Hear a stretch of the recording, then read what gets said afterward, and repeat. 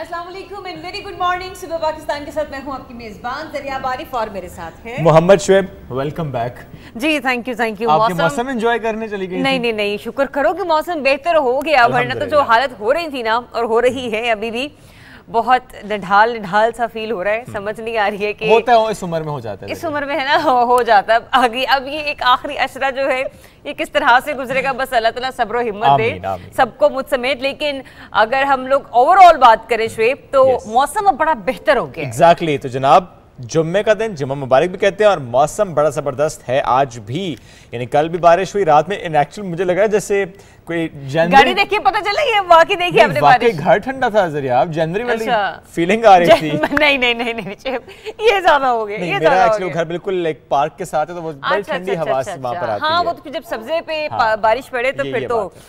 بہت ٹھنڈ بہت ٹھنڈی مطلب پنکھے آف کیے ہم نے آپ یہ دیکھیں۔ ریلی ریلی اتنا ٹھنڈا اچھا خیر ہاں اتنا تو ہے کہ کمفرٹر تو میں نے بھی لیا تھا۔ ہاں تو پھر دیکھیں ٹھنڈ تو تھی نا۔ کمفرٹر لے رہی ہیں اور کہتی ہیں اتنا نہ کریں۔ یہ بڑی خوشخبری ہے جناب کہ موسم اچھا ہو رہا ہے۔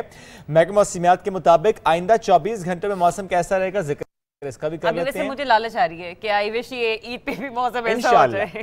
دعا کیجیے اللہ دعا سنتا ہے۔ بے شک، بے دعا شک۔ کیجیے۔ اسلام آباد بالائی پنجاب۔ بلائی خیبر پختونخوا کشمیر گلگت بلتستان تیز ہوائیں بھی چلیں گی گرج چمک کے ساتھ بارش بھی ہوگی اور جو ملک کے۔ بیشتر بالائی علاقے ہیں وہاں پر مطلع جزوی طور پر ابر آلود رہے گا واو تو اس کا مطلب موسم بڑا پیارا اور بڑا اچھا ہونے والا ہے اس ویکنڈ پر تو جتنے بھی لوگ چاند رات کے حوالے سے تو بعد میں تیاری کریں گے لیکن عید کی تیاریوں میں جنہوں نے جا کے ٹیلر کو اپنے کپڑے دینے ہیں یا جنہوں نے جا کے ریڈی میڈ سوٹ لینے ہیں یا جن کی جوتی اور جیولری رہی ہے تو میرے خیال سے ان کے پاس ایک اچھا موقع ہے کہ وہ جا کے اس ٹھنڈے ٹھنڈے موسم میں اپنی جگہ شاپنگ کو کمپلیٹ کریں اور ساتھ ہی ساتھ کہ جہاں پر اس ویکنڈ پر لوگوں نے افطاریوں اور سہنیوں کا اہتمام کر رکھا ہے تو مجھے لگتا ہے وہ جو گیٹ ٹوگیدرز ہونے والے Yes. شعیب وہ بھی بڑی انٹرسٹنگ اور بڑے ہی نا کہ کہتے ہیں خوشگوار۔ موسم میں سیلیبریٹ میرے والا کام کریں میں تو تمام مردوں کو بالخصوص یہ کہوں گا؟ کہ اپنی اپنی بیگمات سے کہیں بھائی جان پہلے پہلے شاپنگ کر لو یا آخر دنوں میں نہیں کہنا تو جیسا میں نے پہلے اشرم بیگم سے کہا تھا جو تمہیں چیز چاہیے اپنے لیے بچوں کے لیے کسی کے لیے بھی چاہیے پہلے لے لو۔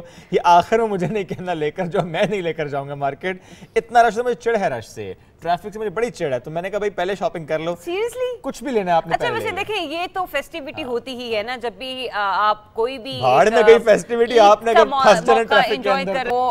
جو مویشی منڈی پہ آپ پھنستے ہیں نا شعیب جو بڑی عید پہ ہوتا ہے وہ تو میں کہتی ہوں کبھی بھی نہیں ہوتا کیونکہ میں نے بہت دفعہ جا کے ٹرانسمیشنز کی ہیں مویشی منڈیوں سے اور آپ یقین کریں کہ وہاں سے واپسی کا جو راستہ ہوتا ہے نا وہ بہت مشکل ہو جاتا ہے دو دو ڈھائی ڈھائی گھنٹے آپ کو واپسی کے راستے میں لگتے ہیں اور آپ اپنے آفس میں پہنچنے میں بہت لیٹ ہو جاتے ہیں بٹ اینی وے سہر افطار کی طرف بھی بڑھتے ہیں۔ لیکن اس سے پہلے ایک چھوٹا سا کامنٹ ذرا اسلام آباد کے موسم کے حوالے سے یہ کر دیں کہ جو آج زیادہ سے زیادہ درجہ حرارت جو ہے وہ چھبیس سے ستائیس درمیان. رہے گا اور دوپہر کے اوقات میں تیس سے بتیس رہے گا لیکن اوور آل اگر ہم دیکھیں تو جو حدت ہے گرمی کی وہ خاصی کم رہے گی۔ الحمدللہ چلیں آ، اسلام آبادی کی بات ہم کر لیتے ہیں سحر اور افطار ٹائمنگز فقہ حنفیہ کے مطابق آج افطار کا وقت چھ بج کر انچاس منٹ جبکہ فقہ جعفر کے مطابق چھ بج کر انسٹھ منٹ پر روزہ افطار ہوگا۔ ایگزیکٹلی اور کل فقہ حنفیہ کے مطابق سحر کا وقت جو وقت ہے وہ تین بج کر انسٹھ منٹ ہے اور فقہ جعفری کے مطابق تین بج کر اکیاون منٹ پر سحر کا وقت ختم ہو جائے گا۔ اور میں نے تو آج کل میں ذرا کسی کام میں بہت زیادہ مصروف تھی اور میں نے رات کو؟ ہی نہیں نہیں وہ تو شام کی بات ہے کہ اچھا۔ بہت لیٹ نائٹ تو وہ میں نے کہا کیسا کرتی ہوں کہ نا سحری کر کے سو- سو جاتی ہوں۔ صرف کچھ نہ کچھ پینے کے لیے کھانے کے لیے نا اٹھ جاؤں گی تو میں نے چار بجے کا الارم لگا دیا۔ میں نے کہا سوا چار تک یہ روزہ بند ہوگا۔ وہ تو چار بجے تو بعد میں بجے اسے پہلے سائرن بج گیا۔ یعنی دیکھیں ہم روزانہ آپ کو سر افطار ٹائمنگز بتا رہے ہیں جو ان پر اثر نہیں کر رہے کر رہی بات وہ کسی اور پہ کیا کیونکہ میں؟ کل نہیں آئی تھی تو مجھے نہیں پتا۔ ایک دن میں نہ آنے پہ ہم نے سوا چار امیجن کر لیا۔ انتہائی سیر دریا ایسے نہ کریں۔ اپنے اپنے الارم کو ٹھیک کریں۔ چلیں یہ جو بایولوجیکل کلاک ہے اس کو ٹھیک کرنا بڑا ضروری ہے۔ اینیویز جی بڑھتے ہیں آگے۔ اور آگے بڑھتے ہیں پاکستان ایٹ سپیڈ کی بات کرتے ہیں۔ وزیر اعظم محمد شہباز شریف کا ذکر کرتے ہیں جنہوں نے آج شمالی یعنی کل شمالی وزیرستان کا دورہ کیا تھا اور قبائلی عمائدین سے ملاقات کی تھی۔ وزارت عظمہ کا عہدہ سنبھالنے کے بعد قبائلی علاقوں کا وزیراعظم کا یہ پہلا دورہ تھا۔ قبائلی عمائدین نے وزیراعظم کا خیر مقدم کرتے ہوئے علاقے کے دورے پر ان کا شکریہ ادا کیا۔ بالکل، اور اس دورے پہ ہم نے دیکھا کہ وزیر اعظم شہباز شریف نے پرامن اور مستحکم پاکستان کے لیے دہشت گردی کے خلاف جنگ میں ہر ممکن تعاون پر قبائلی عمائدین کا شکریہ ادا کیا اور انہوں نے اس بات کا یقین دلایا کہ حکومت دہشت گردی کے خلاف جنگ کے عوض مقامی آبادی کو سہولیات پہنچانے اور سماجی اقتصادی ترقی کو یقینی بنانے کی ہر ممکن کوشش کرے گی۔ اب ایسے میں پرائم منسٹر نے یہ بھی کہا کہ قبائلی اضلاع کے عوام نے بڑی قربانیاں دی ہیں۔ اور ہم ان کے مقروض ہیں۔ لہٰذا ان قربانیوں کو کبھی رائے گا نہیں جانے دیں گے۔ انہوں نے یہ بھی کہا کہ پورے پاکستان کی طرح جو مقامی آبادی کے لیے شہری سہولیات ہیں ان کو یقینی بنانا ہماری ترجیح ہوگی۔ وزیر اعظم پاکستان میاں محمد شہباز شریف صاحب نے کہا کہ وہ پہلے بھی شمالی وزیرستان آ چکے ہیں اور اس وقت جس وقت وہ گئے تھے تو دہشت گردی عروج پر تھی لیکن اب حالات خاصے مختلف ہیں۔ آپ لوگوں نے جس طرح اپنے پیاروں کی لاشیں اپنے کاندھوں پر اٹھائیں یہ گران قدر قربانیاں ہیں۔ انہوں نے کہا کہ قیام پاکستان کے وقت نجر قبائلیوں نے کشمیر میں بھی جنگ لڑی۔ ان کے قربانیاں ہر حوالے سے تاریخ میں سنہری حروف سے لکھی جائیں گی۔ جو قبائلی عمائدین ہیں، انہوں نے وزیراعظم پاکستان کو کا شکرت ادا کیا۔ اور اس کے ساتھ ساتھ جو قبائلی عمائدین ہیں، انہوں نے یہ یقین دہانی کرائی کہ ہم پورا تعاون کریں گے۔ امن کے لیے، استحکام کے لیے خوشحالی کے لیے۔ جہاں جہاں ضرورت پڑے گی، پہلے بھی ساتھ کھڑے تھے، آج بھی جم کر کھڑے ہیں۔ بالکل، اور ایسے میں شمالی وزیرستان کے اپنے اس دورے کے دوران انہوں نے جدید یونیورسٹی، دانش سکول سسٹم اور میڈیکل کالج کے قیام کا اعلان بھی کیا ہے۔ ان تمام تر سہولیات سے آراستہ موبائل اسپتال بلا تاخیر علاقے کے عوام کو طبی سہولیات فراہم کریں گی۔ تو یہ ہے جناب وزیر اعظم شہباز شریف کا دورہ، جس کے حوالے سے ہم آپ کو اپڈیٹ کر رہے تھے۔ کل کا ان کا یہ جو دورہ ہے، انتہائی اہمیت کا حامل ہے اور ڈیفیسے میں جو اعلانات ان کی طرف سے کیے گئے ہیں شمال وزیرستان اور وہاں کے مقامی لوگوں کے حوالے سے، وہ بھی لائق تحسین ہے لیکن یہیں پر ہی بات ختم نہیں ہوتی کیونکہ ترقی کا سفر ابھی جاری و ساری ہے۔ ایسے میں وزیر اعظم محمد شہباز شریف نے ہدایات یہ بھی جاری کی کہ اورنج لائن میٹرو بس کے ساتھ ساتھ راول پنڈی صدر اسلام آباد سیکریٹریٹ کی طرف سے میٹرو روٹ کو بھی منسلک کیا جائے گا اور پشاور موڑ سے اسلام آباد ایئرپورٹ تک میٹرو روٹ کو منسلک کرنے کے لیے فیض احمد فیض سٹیشن پر جنکشن جو ہیں وہ پیر تک تیار اور نئی روٹ سے کنیکٹیوٹی کے ساتھ وہ منسلک کرتے بالکل یعنی یہ جو ایک تحفہ ہے اسلام آباد کے شہریوں کے لیے یعنی پہلے صرف ہم نے بات یہ کی کہ جو چار سال سے تعطل کا شکار ایک منصوبہ تھا وزیزم شہباز شریف صاحب نے منصب سنبھالتے ہی چار پانچ دن کے اندر اندر اس کو آپریشنل کر دیا۔ اب اس کو کنیکٹ کیا جا رہا ہے اس روڈی آپریشنل ہے ٹوین سٹیز کا۔ اس پر ایک رپورٹ ہے ہمارے پاس آپ کو دکھاتے ہیں۔ چار سال سے تیار اورنج میٹرو بس سروس کے لیے عوام کا صبر ازما انتظار بالآخر اپنے اختتام کو پہنچا۔ وزیر اعظم شہباز شریف کی خصوصی کاوش سے اسلام آباد اورنج میٹرو بس کا افتتاح ہو چکا ہے۔ فی الوقت orange line metro Peshawar Mor پر این ایچ اے اسٹیشن سے ایئرپورٹ تک فعال ہے۔ اس کے نو اسٹیشن ہیں، جن میں Faiz Ahmed Faiz, N H A G ten, police foundation, NUST G thirteen Golra N five اور ایئرپورٹ شامل ہیں۔ رمضان المبارک میں مسافروں کو سفر کی مفت سہولت میسر ہے۔ اللہ بہت اچھا ہے۔ عوام کے لیے بہت بڑی سہولت ہو گئی ہے۔ پہلے موٹر سائیکل پہ جاتے تھے۔ ابھی یہ اتنی بڑی سہولت ہے۔ اے سی لگا ہوا سکون سے بیٹھے ہیں۔ اور کیا چاہیے؟ فرسٹ کلاس سر بہت خوب۔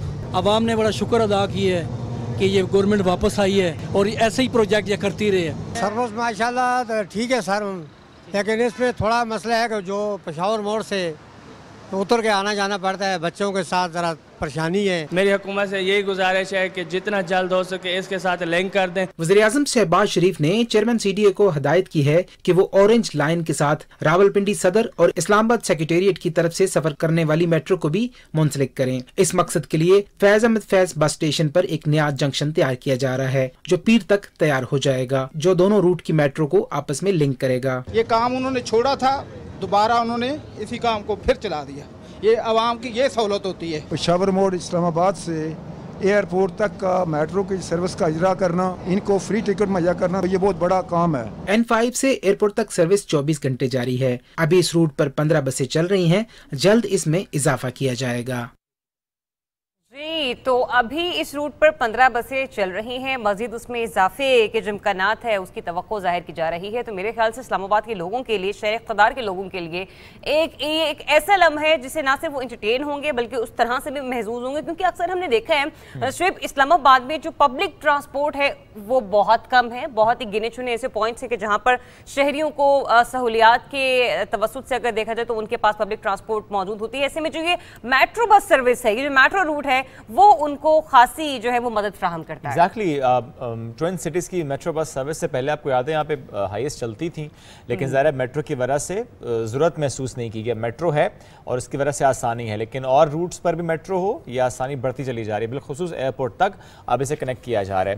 اچھا اب ذرا بڑھتے ہیں آگے۔ وزیر اعظم محمد شہباز شریف سے وزیر اعلیٰ سندھ سید مراد علی شاہ صاحب کی بھی ملاقات ہو یعنی شہر اقتدار میں اب شہر قائد کے مسائل حل ہو رہے ہیں ایسی بیٹھک لگ رہی ہے۔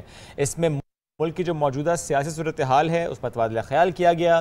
وزیر سندھ نے وزیر اعظم کو پہلے کابینہ اجلاس میں ملک کی ترقی کے لیے باہمی تعاون سے کام کرنے کے عزم پر مبارکباد پیش بالکل اور پھر ایسے بھی ہم نے یہ بھی دیکھا کہ وزیر اعلیٰ سندھ نے وزیر اعظم کو سندھ کے جو انتظامی امور ہیں ان پر بھی ڈیٹیلڈ بریفنگ دی ہے۔ پھر وہاں پر پرائم منسٹر یہ کہتے ہیں کہ حکومت کی اولین ترجیح ہے کہ مہنگائی کی چکی میں پسی ہوئی عوام کو فوری طور پر ریلیف فراہم کرنا ہے۔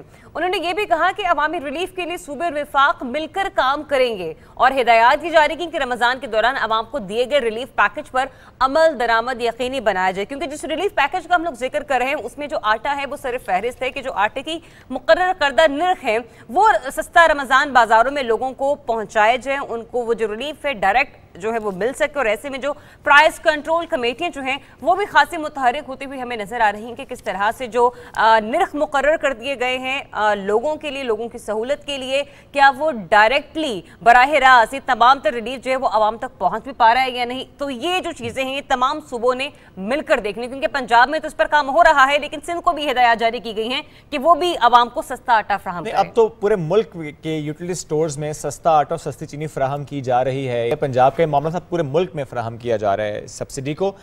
وزیر مملکت برائے خارجہ امور ہینا ربانی کھر صاحبہ کی بات کرتے ہیں جن سے برطانوی ہائی کمشنر کریسٹن ٹرنر کی ملاقات۔ خات ہوئی ہے۔ برطانوی ہائی کمشنر نے منصب سنبھالنے پر وزیر مملکت برائے خارجہ امور کو مبارکباد دی۔ اس موقع پر ہنا ربانی خر صاحبہ نے کہا کہ پاکستان برطانیہ کے ساتھ تعلقات کو انتہائی قدر کی نگاہ سے دیکھتا ہے۔ اور ہنا ربانی خر نے پاکستان میں صحت، تعلیم اور انسانی ترقی کے فروغ میں برطانوی کردار کو ساتھ سراہا بھی۔ تاہم، دونوں ممالک نے دو طرفہ سفارتی تعلقات کے قیام کی پچہترویں سالگرہ کو شاندار طریقے سے منانے پر اتفاق بھی کیا ہے۔ اور دو طرفہ تعلقات جغرافیائی ہوں، پھر وہ سیاسی ہوں، علاقائی ہوں، ان تمام صورتحال پر بھی ڈسکشن رہی ہے۔ البتہ مقبوضہ جموں کشمیر اور افغانستان کی صورتحال پر بھی ایک خاصی موضوع گفتگو رہی ہے اور اس ملاقات میں ہیران آبادی کھر یہ کہتی ہیں کہ یوکرین کے بحران کے باعث پیدا ہونے والی معاشی مزمرات جو ہیں ان پر بھی تشویش کا اظہار کیا گیا ہے۔ ویسے آپ کی کرسٹین ٹرنر سے ملاقات ہوئی؟ میری ملاقات ہوئی بھی ہے۔ انتہائی نفیس انسان ہے انتہائی شفیق انسان ہے میری بھی ان سے ملاقات رہی ہے اور بڑے اچھے طریقے سے وہ برطانوی امور کو پاکستان میں لے کر چل رہے ہیں اور یوں کہہ لیجیے کہ خاصی کانٹریبیوشن تو رہی ہے ہی ان کی لیکن ساتھ ہی ساتھ جب ہم لوگ ڈپلومیٹک پوائنٹ آف ویو سے دیکھیں تو کچھ بھی ہم دیکھیں کہ ثقافتی امور پر بات کرنی ہو چھوٹے چھوٹے اس طرح کے ایونٹس جو ہیں ان کو آرگنائز کرنا ہو کرکٹ میچ ہی لے لیں تو وہ خاصی جو ہے لوگوں کو اس سلسلے میں ان کے ساتھ وہ ایونٹس انجوائے بھی کرتے ہیں اور پھر اگر ان کا ٹویٹر ہینڈل کو ہم لوگ دیکھیں تو اس ٹویٹر ہینڈل کے ذریعے وہ لوگوں کو بتاتے بھی ہیں کہ ہاں وہ ان سیلیبریشنز کو خود بھی سیلیبریٹ کر رہے ہیں۔ ایگزیکٹلی ایسے۔ جو پولیٹیکل سچویشن ہے کوئی اپڈیٹ اس کی بھی آپ کو دیتے ہیں۔ کل پاکستان تحریک انصاف کا جلسہ تھا اس سے متعلق کہا جا رہا تھا کہ سیکیورٹی خدشات ہے جس پر وزیراعظم پاکستان میاں محمد شہباز شریف صاحب نے کہا کہ فل پروف سیکیورٹی فراہم کی جائے۔ ایگزیکٹلی وزیر اعظم پاکستان شہباز شریف کی طرف سے سابق وزیر اعظم عمران خان صاحب کے لیے احکامات جو ہیں وہ جاری کرتے وزارت داخلہ کو کہا گیا ہے کہ انہیں وہ سیکیورٹی فراہم کی جائے۔ جو کہ ایک سابق وزیر اعظم ڈیزرو کرتے ہیں، کیونکہ بتایا جا رہا ہے کہ ان کی جان کو خطرہ ہے، جیسے کہ ان کی جماعت بھی اس خدشے کا اظہار کر چکی ہے۔ اور ابھی جو کل گزشتہ روز لاہور میں جلسہ ہوا ہے پاکستان تحریک انصاف کا، تو وہاں پر بھی ہم نے دیکھا کہ آئی جی پنجاب کی طرف سے اور لاہور انتظامیہ کی طرف سے احکامات جاری کیے گئے تھے۔ ایک خط انہیں لکھا گیا تھا کہ آپ کی جان کو خطرہ ہے، لہٰذا آپ اس جلسے میں اپنی سیکیورٹی کو یا تو بڑھا دیں یا پھر گریز کریں اور احتیاط کریں، جس پہ خان صاحب نے یہ ٹھان لی کہ نہیں، جلسہ تو انہیں کرنا ہے۔ تو ایسے میں وزیر اعظم پاکستان جناب شہباز شریف کی جانب سے اس خدشے کو دیکھا گیا مد نظر رکھتے ہوئے وزارت داخلہ کو احکامات باقاعدہ طور پر جاری کر دیے گئے۔ جناب، کہ آپ ان کی سیکیورٹی جو اسی یقینی بنائیں۔ بالکل ایسے اور اس کے بعد یعنی جلسے کے بعد یا جلسے کے دوران جو ایک صورتحال پیدا کرنے کی کوشش گئی۔ یہ کہا گیا کہ شاید حکومت جو ہے وہ ڈاؤن پلے کرنے کی کوشش کر رہی ہے۔ یہ کہا گیا کہ کچھ ادارے سرگرم ہیں جو کہ چاہ رہے ہیں کہ اس طرح کی کوریج نہ ملے پاکستان تحریک انصاف کے جلسے کو، بلکہ الزام عائد کیا گیا پی ٹی سی ایل پر کہ وہ کچھ چینلز پر پابندی لگا رہا ہے۔ وہ چینلز کی جو ہے وہ براڈ کاسٹنگ کے ایشوز آ رہے ہیں جہاں پر پاکستان تحریک انصاف کا جلسہ دکھایا جا رہا ہے، جس پر مریم اورنگزیب صاحب نے ٹویٹ کیا اور باقاعدہ یہ ایک ایکسپلین کیا کہ ایک تو ایسی بات ہے نہیں، یہ جھوٹ ہے، یہ پراپاگینڈا ٹویٹر نے کیا کہ یہ پاکستان، مسلم لیگ نون اور جمہوری اور آزادی اظہار پر پختہ یقین رکھنے والی جماعتوں کی حکومت ہے۔ پی ٹی آئی کی فستائی اور عدم برداشت والی حکومت نہیں، جس میں چینل، پروگرام کالم بند ہوں۔ صحافیوں کو گولیاں ماری جائیں، پسلیاں توڑی جائیں، گرفتاریاں ہوں۔ ساتھ ہی وہ پی ٹی سی ایل کا ایک سکرین شاٹ بھی شیئر کیا گیا ہے جس میں بتایا جا رہا ہے کہ اس وقت تمام جو چینلز ہیں وہ اپنی کی کوریج جو ہے وہ جاری ہے۔ کہیں پر ایسا کوئی معاملہ نہیں ہے۔ تو اس لیے یہ پروپیگنڈا ہے، یہ جھوٹ ہے اور ایسا کوئی معاملہ نہیں۔ کیونکہ آپ دیکھیں جیسا ذریعہ نے ایکسپلین پورا کر دیا کہ رنا ثناء اللہ صاحب، وزیر داخلوں کو ہدایت جاری کی گئی ہے سیکیورٹی فول پروف بنانی ہے۔ تو یعنی شہباز شریف صاحب اس سے متعلق پہلے بھی کہہ چکے ہیں کہ یہ ایک جمہوری معاملہ ہے۔ یہ ایک ایسا معاملہ جس میں کسی بھی بات کو یہ حق حاصل ہے کہیں پر وہ احتجاج کر سکتی ہے، کہیں پر وہ اس طرح جلسہ کر سکتی ہے۔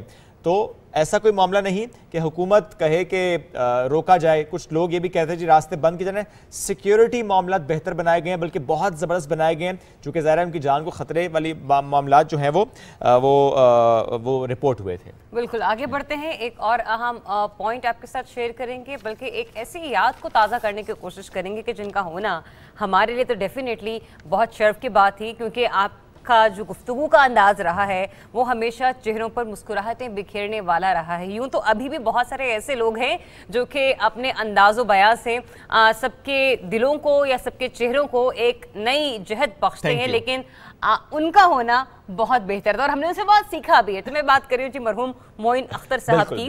چہروں پر مسکراہٹیں بکھیرنے اور دلوں پر راج کرنے والے موین اختر صاحب کو بدداہوں سے بچھڑے آج گیارہ برس بیت گئے ہیں۔ ان کے فن کی اکیڈمی انہیں ایک یہ لقب دیا گیا تھا اور اس لقب کو پانے والے اس عظیم فنکار کے طنز و مزاح سے بھرپور جملوں نے تہذیب کا ایک نیا پہلو متعارف کروایا۔ لیجنڈری اداکار جناب موین اختر صاحب، ان کا فنی سفر ایک رپورٹ تیار کیا سب پاکستان نے۔ آئیے مل کر دیکھتے ہیں۔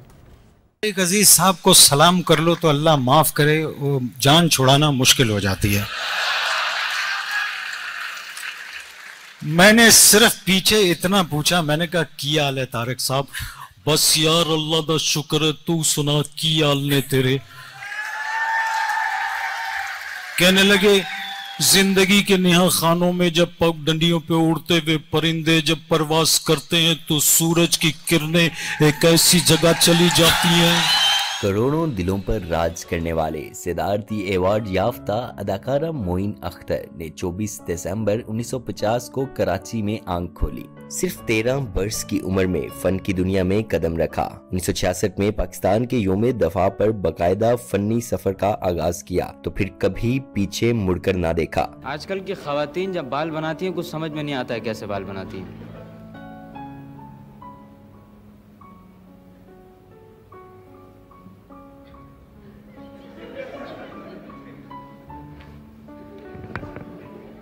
موین اختر محض اداکار ہی نہیں بلکہ ایک دور کا نام تھا، جنہوں نے فنون لطیفہ کے ہر شعبے میں اپنی صلاحیتوں کی دھاک بٹھائی۔ ورسٹائل اداکار موین اختر نے اسٹیج سے ریڈیو تک، ریڈیو سے ٹیلی ویژن اور پھر فلم نگری تک سینکڑوں روپ میں جلواگر ہوئے۔ کئی کردار نبھائے جو آج بھی دل و دماغ پر نقش ہیں۔ تنز و مزاح پر مبنی ان کے پروگراموں میں fifty fifty, loose talk, half plate کو بے خط پسند کیا گیا۔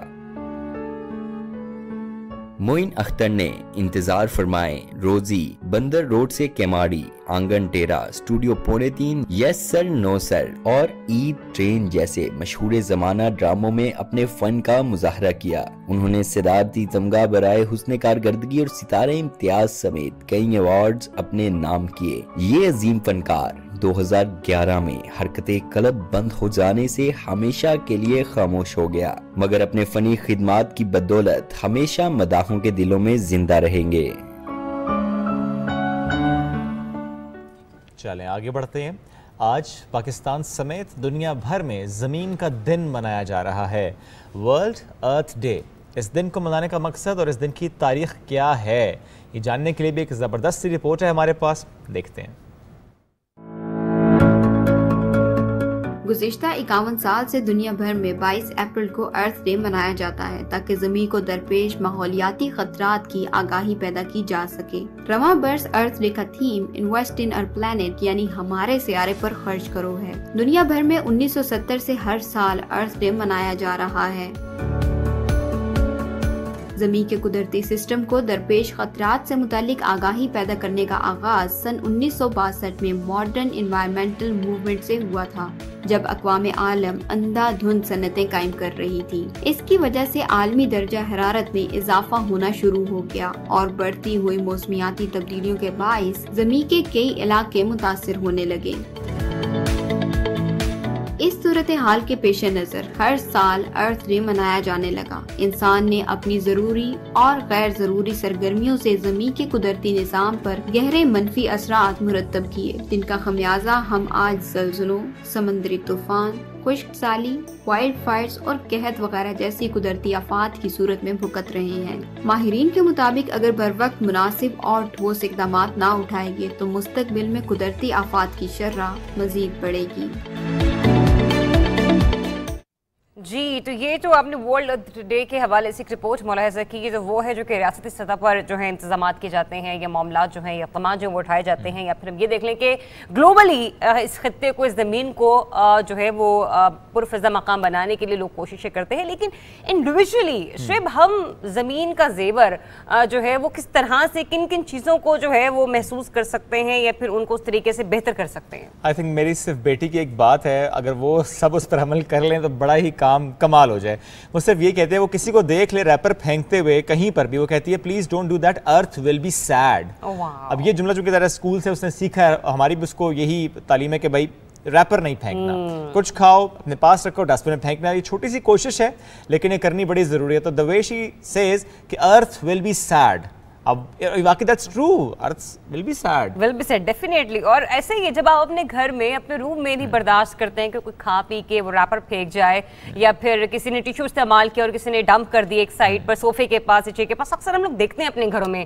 تو زمین بھی آپ ہی کا اپنے گھر کا حصہ ہے۔ جب آپ اپنے گھر اور اس کے گرد و نواح کو صاف ستھرا رکھتے ہیں تو یہ جو سڑکیں ہیں یہ جو محلے ہیں جو گلیاں ہیں یہ جو گراؤنڈز ہیں ان کی زینت کو بھی آپ ہی نہیں برقرار رکھنا کیونکہ جب آپ فوٹو لینے کے لیے کسی جگہ پہ رکتے تو کہتے ہو پیچھے بیک گراؤنڈ اچھا نہیں آ رہا فوٹو اچھی نہیں آئے گی تو اس فوٹو کو بہتر بنانے کے لیے آپ اپنے آپ کو تو سوار ہیں لیکن اس بیک گراؤنڈ کو سنوارنے کا کام بھی آپ ہی پر بنتا ہے۔ بالکل ایسا ہی ہے۔ تو بچوں کو ضروری سکھانا ہے ہم نے کیونکہ ظاہر ہے ہم تو اس طرح نہیں شاید سیکھ پائے تبھی تو زمین اتنی اتنی گندی اتنی میلی کچھ ایلی ہوگی سیڈ ہوگی ایگزیکٹلی تو اس کو ہیپی کرنے کے لیے ان بچوں کو یہ سکھانا ہے کہ نہیں بھائی ریپر نہیں پھینکنا۔ سکھانا کیسے ہے؟ خود نہیں پھینکنا۔ خود پھینکیں گے بچے تو کاپی کرتے ہیں آپ کو دیکھیں گے وہ پھینکیں گے۔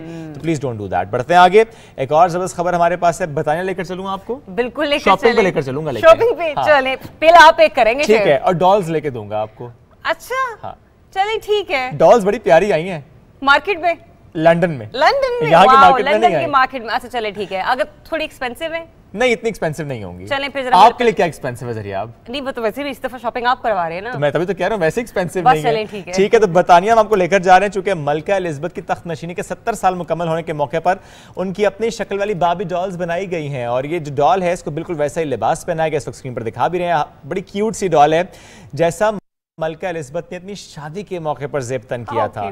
چھیانوے سالہ ملکہ الزبت انیس سو باون میں اپنے والد شاہ جارج ششم کے انتقال کے بعد تخت نشین ہوئی تھی اور برطانوی تاریخ میں سب سے طویل عرصے تک تخت نشین رہنے والی یہ ملکہ ہیں۔ تو اب یہ بابی ڈالز لنڈن کے سٹور سے فروخت کی جائیں گی۔ میں لے کر جا رہا ہوں آپ کو شاپنگ کراؤں گا ٹینشن نہیں آتا چلے زبردست۔ ویسے بابی ڈال بہت اچھی لگ رہی بڑی کیوٹ لگ رہی۔ ہے اور یہ تو ملکہ الزبت جو ہیں وہ بھی جو ڈریسز کیری کرتی ہیں میں کہتی ہوں بہت ہی کمال بڑے خوبصورت ہوتے ہیں۔ بعض اوقات وہ پیسٹل کلر یوز کرتی ہیں بعض اوقات خاصے ہی بڑے برائٹ کلرز ہوتے ہیں اور ان کا جو پورا آؤٹ فٹ ہوتا ہے وہ ہیڈ ٹو ٹو بڑا ہی کیا کہتے ہیں نا ڈیسنٹلی ڈیزائن کیا ہوتا ہے۔ ان کے کراؤن کے کلرز ان کے جو ہیڈ ان کی جو کیپ ہے وہ بھی ان کے ہیڈز بھی۔ مطلب اوور آل اس ایج میں آ کے خود کو اتنا جس کو کہتے ہیں نا سنک رکھنا آپس میں ہر ایک چیز کے ساتھ یہ کچھ لوگ ہی کر سکتے ہیں۔ Age is just a number ہاں اور پھر تو وہ ملکہ ہیں۔ ملکہ بھی ہے ایگزیکٹلی ایسے ہی چلیں۔ میرا خیال آگے بڑھتے ہیں ایک اور خبر ہمارے پاس ہے وہ ہے نظام شمسی سے متعلق۔ آج بڑا اہم دن ہے بھلا کیسے؟ نظام شمسی کے جو سیارے ہیں وہ ایک سیدھے قطار میں آ جائیں گے بولے کہنا چاہیے تمام سرات مستقیم پر چلیں گے۔ Really? ہاں How سیدھے راستے. پر آ جائیں گے۔ ابھی جو ایک قدرتی نظارہ ہے یہ شمالی نصف کرے سے کیا جا سکے گا۔ اور یعنی نارتھ پول سے کیا جا سکے گا فور شور اور اس قطار کا نظارہ آج شفق پھوٹنے سے پہلے آسمان پر کیا جا سکتا ہے۔ اب شفق پھوٹنا کیا ہے؟ ذرا یہ بھی ہم اپنے ہاں، پہلی کرن- پہلی کرن آتی ہے۔ ہاں وہ جو وہ وقت جس وقت زمین اور آسمان دونوں مل رہے ہوتے ہیں اور اس وقت اجالے کا ٹائم ہوتا ہے ہم اس کو افق اور شفق کہتے ہیں یہ وہ وقت ہوتا ہے۔ بالکل تیئیس اپریل سے دنیا کا چاند بھی اس قطار میں شامل ہو جائے گا۔ چوبیس جون کو نظام شمسی کے دیگر تمام سیارے مزید بڑی سیاراتی ترتیب میں جمع ہو جائیں گے۔ لیکن اس کا نظارہ ایویں نہیں ہے کہ میں اور آپ کہیں جی ہم دیکھ رہے ہیں وہ سیارے پائی جان لائن میں لگے ہوئے ایسا نہیں ہے۔ ایسا کوئی چکر نہیں پلین ہے جا رہا ہے ہم کہ ہاں۔ او ہو یہ تو پلین نہیں تو ابھی یہاں تھے تو وہاں پہ وہ چلا ایسا نہیں کہ بنٹے ہیں جو آپ نے لائن سے کھڑے کر دیے ہیں۔ دوربین سے یا ٹیلیسکوپ سے آپ یہ نظارہ کر سکیں گے۔ بٹ ذرا نارتھ ایسے پہلے بڑا یہ لوگوں کا رجحان ہوتا تھا کہ لوگ ٹیلیسکوپس یا دوربین پرچیز کیا کرتے تھے خریدا کرتے تھے۔ اب اب معلوم نہیں کہ اب بھی لوگ جو ہیں وہ اس کا شوق رکھتے ہیں یا نہیں رکھتے ہیں۔ لیکن میں نے تو وہ کھلونے والی دوربین سے دیکھنے کی کوشش کی اور اس سے تو جو نظر آ رہا ہوتا ہے نا وہ بھی دھندلا جاتا ہے کیونکہ اس کے کلاسز جو شیڈز ہوتے ہیں اتنے اچھے ہائی۔ ڈیفینیشن نہیں ہوتے بالکل ایسے۔ چلیں جی ایک چھوٹی سی بریک کی طرف بڑھ رہے ہیں۔ جب بریک سے واپس تو پھر بات کریں گے رمضان میں آپ کا دل کیسے قابو میں آ جاتا ہے؟ اس لیے بھی کیونکہ ویکینڈ سٹارٹ ہو رہا ہے اور جمعہ ہفتہ اتوار ڈیفینیٹلی کیونکہ آخری شرح کا آغاز ہو چکا ہے آپ لوگوں نے افطاری اور سہریہ بختانی اس لیے ہم نے آپ کو کنٹرول کرنا ہے۔ بریک لیتے ہیں۔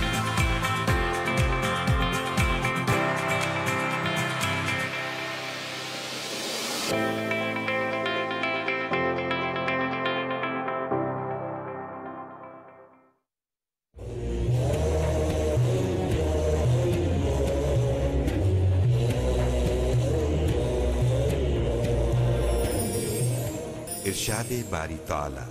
اے لوگو، اپنے رب کی عبادت کرو، جس نے تمہیں تخلیق کیا اور ان کو بھی جو تم سے پہلے تھے، تاکہ تم متقی بن جاؤ۔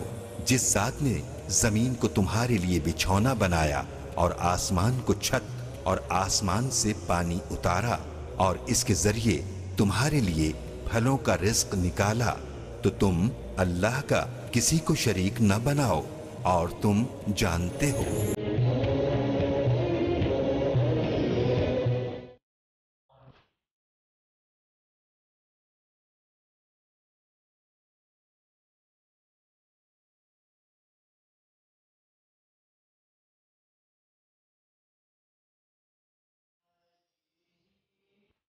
رسول اللہ صلی اللہ علیہ وسلم نے فرمایا جب رمضان کا مبارک مہینہ آیا تو اللہ نے اس کے روزے تم پر فرض کر دیے۔ اس ماہ میں جنت کے دروازے کھول دیے جاتے ہیں۔ جہنم کے دروازے بند کر دیے جاتے ہیں۔ اس میں ایک رات ایسی ہے جو ہزار مہینے سے بہتر ہے۔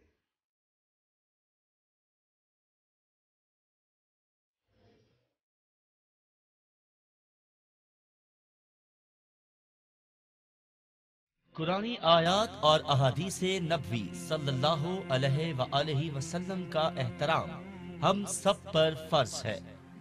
تعزیرات پاکستان کے سیکشن دو سو پچانوے بی کے تحت قرآن پاک کی توہین قابل سزا جرم ہے، جس پر عمر قید کی سزا ہو سکتی ہے۔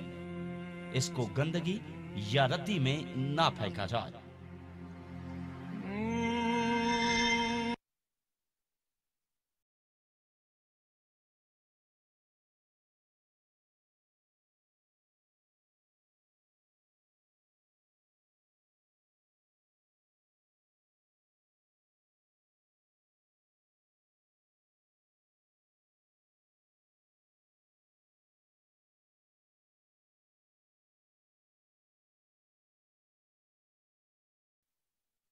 اس مبارک ماہ رمضان کا دوسرا اشرا باعث مغفرت ہے۔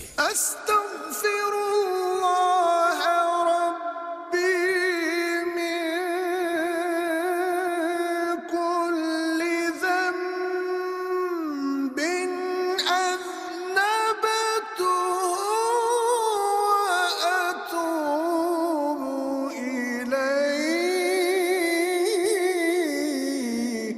اے اللہ میرے گناہوں کو بخش دے اور میری توبہ قبول فرما۔ جدھر وہ علی مقام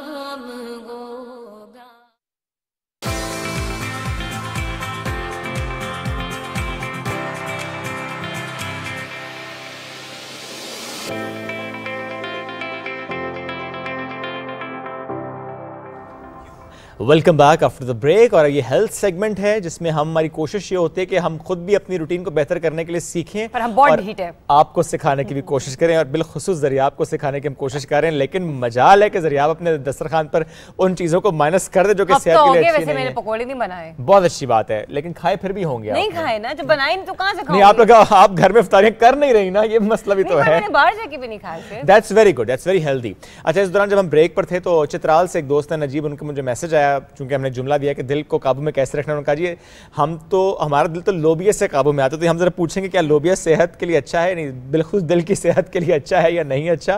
تو آج ہمارے ساتھ موجود ہے ڈاکٹر شمائلہ غفار صاحب۔ السلام علیکم کیسی ہیں آپ؟ وعلیکم السلام I am good thank you so much زبردست آپ لوگ کیسے ہیں؟ الحمدللہ بالکل ٹھیک ٹھاک۔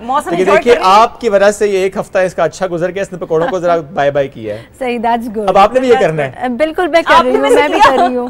میں ایکچولی جب بھی خود پروگرام پہ بولتی ہوں تو میں سب سے پہلے اپنے اوپر امپلیمنٹ کرتی ہوں اور پھر میں دوسرے بہت اچھی بات ہے بالکل اچھی بات ہے۔ آپ ذرا بتائیں یہ لوبیا صحت کے لیے کیسا ہے؟ لوبیا is actually very good آپ نے اگر دیکھا ہو اس کو ریڈ بین بھی کہتے ہیں۔ اور یہ جو ہے اوورال ہیلتھ کے لیے بھی بہت اچھا ہے اور اسپیشلی بلڈ بنانے کے لحاظ سے اس کو بہت مفید سمجھا جاتا ہے۔ تو لوبیا ضرور کھانا چاہیے اس کی چاٹ بنا کے کھا لیں اس کا آپ کھانے میں بھی ایز اے میل بھی یوز کر سکتے ہیں۔ تو اس کے تو فوائد بھی ہیں۔ ٹھیک ہے اب رمضان انٹرمیٹنٹ فاسٹنگ اور اس کا direct impact on our heart health of heart کیا ہے؟ بالکل۔ جس طرح کہ میں نے لاسٹ ٹائم کہا تھا کہ روزہ جو ہے وہ دل کے بہت فیور میں ہے اور جس طرح کہ ہم نے ابھی ذریعہ نے بھی کہا کہ دل کو ذرا قابو میں رکھنا پڑتا ہے۔ تو فاسٹنگ کے دل پہ بہت اچھے اثرات مرتب ہوتے ہیں اور آپ کا جو لپڈ پروفائل ہے جس میں آپ کا کولیسٹرول آ جاتا ہے ایچ ڈی ایل آسان لفظوں میں میں بتاؤں گی کہ دیکھیں اس کو ایچ ہے نا تو اس سے ہارٹ ہیلدی یعنی یہ آپ کے ہارٹ پہ اچھا امپیکٹ دیتا ہے۔ ایچ ڈی ایل جو ہوتا ہے وہ امپروو ہو جاتا ہے روزے کی وجہ سے and it is heart healthy اس طرح ہے L D L low density lipoprotein اس کو کہتے ہیں لیکن آسان یاد رکھنے کا طریقہ یہ ہے لاؤزی لائپو پروٹین یعنی جس کے آپ کے دل پہ برے اثرات ہیں۔ تو لاؤزی لائپو پروٹین جو ہے وہ کم ہو جاتا ہے اور ہیلدی جو ہے وہ heart friendly H D L وہ زیادہ ہو جاتا ہے اور کولیسٹرول کم ہو جاتا ہے۔ یعنی آپ کا پورا لپڈ پروفائل جو ہے وہ بہترین ہو جاتا ہے روزہ رکھنے سے۔ اور یہ جو ایفیکٹ ہے یہ تقریباً ٹین ڈیز تک بہت اچھے طریقے سے یہ آپ کے لپڈ پروفائل کو مینج کر دیتا ہے۔ اگر آپ روزے صحیح طریقے سے کوئی بارڈر لائن پہ آ رہا ہو کولیسٹرول لیولز پہ تو کیا تیس دن کی فاسٹنگ سے وہ بارڈر لائن سے واپس آ جائے گا نارمل ایسا ہی ہے بالکل ایسا ہی ہے لیکن اس میں آپ نے یہ احتیاط کرنی کہ آپ نے روزے کو اس طرح رکھنا ہے جس طرح روزہ رکھنے کا حق ہے۔ اگر ہاں۔ ہم لوگ پکوڑے کھاتے رہیں گے سموسے کھاتے رہیں گے فرائیڈ آئٹمز کھاتے رہیں گے تو ڈیفینیٹلی پھر تو کولیسٹرول کم نہیں ہوگا پھر تو زیادہ ہو جائے گا۔ اچھا واٹ ڈز کولیسٹرول ڈو یہ بڑے مزے کی بات ہے and I want share with you know سب کے ساتھ۔ کہ جب کولیسٹرول زیادہ ہوتا ہے تو ہماری آرٹریز کے اندر یہ جمع ہونا شروع ہو جاتا ہے۔ ہاں۔ جس طرح کہ ہم اگر کوئی بیڈ مٹیریل ہمارے گھر میں جس طرح کوڑا کرکٹ آپ نے ابھی زمین کی بات بھی ہاں، کی ہاں، تو اسی طرح یہ کولیسٹرول آرٹریز کی والز میں یہ گند کے طور پہ جمع ہونا شروع ہو جاتا ہے۔ اور جب یہ ایک طرف لگنا شروع ہو جاتا ہے تو یہ آرٹری کا جو کیلیبر ہے اس کو تنگ کر دیتا ہے۔ جب آرٹری تنگ ہو جاتی ہے تو اس میں سے ڈیفینیٹلی بلڈ کو گزرتے ہوئے پرابلم ہوتی ہے اور جب بلڈ کو گزرتے ہوئے پرابلم ہوتی ہے تو وہ آپ کو بھی پرابلم دیتا ہے ہائپر ٹینشن اور ہائی بلڈ پریشر کی صورت میں۔ اور ہائی بلڈ پریشر کے بہت زیادہ نقصانات ہیں۔ میں ہمیشہ یہ بتاتی ہوں لوگ شوگر سے ڈرتے ہیں اور کہتے ہیں کہ یار بلڈ پریشر کا کیا ہے؟ یہ تو مینج ہو جائے گا خوراک سے مینج کر لیں گے۔ نہیں۔ Blood pressure is as much damaging as diabetes یہ آپ کو فالج دے سکتا ہے۔ اسٹروک جسے کہا جاتا ہے۔ اس کے علاوہ آپ کے برین میں بلیڈنگ ہو سکتی ہے۔ آپ کی کڈنیز جو ہیں وہ فیلئر کی طرف جا سکتی ہیں۔ ڈائریکٹلی آپ کے ہارٹ کو جو ہے وہ انٹرلنگ کر رہی ہے۔ بالکل۔ اچھا تو اب کیا ہے کہ جب یہ کولیسٹرول آپ کی آرٹریز میں جمع ہو جاتا ہے تو وہ ہارڈ ہو جاتی ہیں ٹھیک؟ ہاں۔ اب جب وہ ہارڈ ہو جائیں گی تو ان میں سے جس طرح کہ میں نے کہا کہ بلڈ فلو کو پرابلم ہوگا تو ہاں، دل کو اٹ سیلف بلڈ سپلائی صحیح سے نہیں ملتی۔ الاسٹیسٹی ختم ہو جائے گی۔ بالکل تو آپ کو ہارٹ فیلئر بھی ہو سکتا ہے ہارٹ اٹیک ہو سکتا ہے۔ اچھا اب یہ جو وہاں پہ یہ گنک اور یہ جنک جمع جب ہونا شروع ہو جاتا ہے تو یہ اگر بلڈ پریشر آپ کا زیادہ ہے تو یہ وہاں سے تھوڑا سا مٹیریل ایمبولائز کر کے آپ کے برین میں لے جائے گا۔ کلاٹ ہو جائے گا۔ وہاں پہ کلاٹ جب جائے گا تو وہاں پہ بلڈ سپلائی بند ہو جائے گی جس کی وجہ سے آپ کو جو ہے فالج کا اٹیک ہو سکتا ہے اور ایک دفعہ آپ یقین کریں فالج کا اٹیک ہو جائے پھر ریکوری ہاں، بہت مشکل مشکل ہو ہوتی جاتی ہے۔ اسی لیے بہت بہتر ہے کہ ہم اپنا فاسٹنگ صحیح طریقے سے کریں اپنا کولیسٹرول کو کم کریں اور بہت سارے لوگ ایسے ہوتے ہیں جن میں یہ فیملیل ٹینڈنسی ہوتی ہے۔ وہ دے آر ویری ینگ ان کی ایون جو ہے ایٹنگ ہیبٹس بھی بری نہیں ہوتی لیکن ان کو فیملیل ہائپر کولیسٹرولیمیا ہوتا ہے۔ یعنی ان کا کولیسٹرول ضرورت سے زیادہ ہوتا ہے۔ ٹھیک۔ اگر یہ 7.5 سے زیادہ ہو تو اٹ از ویری ڈینجرس اور آپ نے دیکھا ہوگا کہ بعض لوگ ایسے ہوتے ہیں کہ ان کو ینگ ایج میں ہا- مطلب ہارٹ اٹیک ہو جاتا ہے، یا ان کی ڈیتھ ہو جاتی ہے اور پتہ بھی نہیں ہوتا۔ اس لیے اگر آپ کی فیملی میں یہ ہے اور فیملی میں کسی ینگ پرسن کی ڈیتھ ہوئی ہے تو آپ پلیز اپنے کولیسٹرول لیول ضرور چیک کروائیے. بالکل ٹھیک ہے. اچھا اس اچھا میں ڈاکٹر جی، جی۔ تھوڑا سا یہ بھی بتائیے گا کہ جب ہم لوگ بات کریں نا ابھی یہ ہارٹ ایشوز کے حوالے سے۔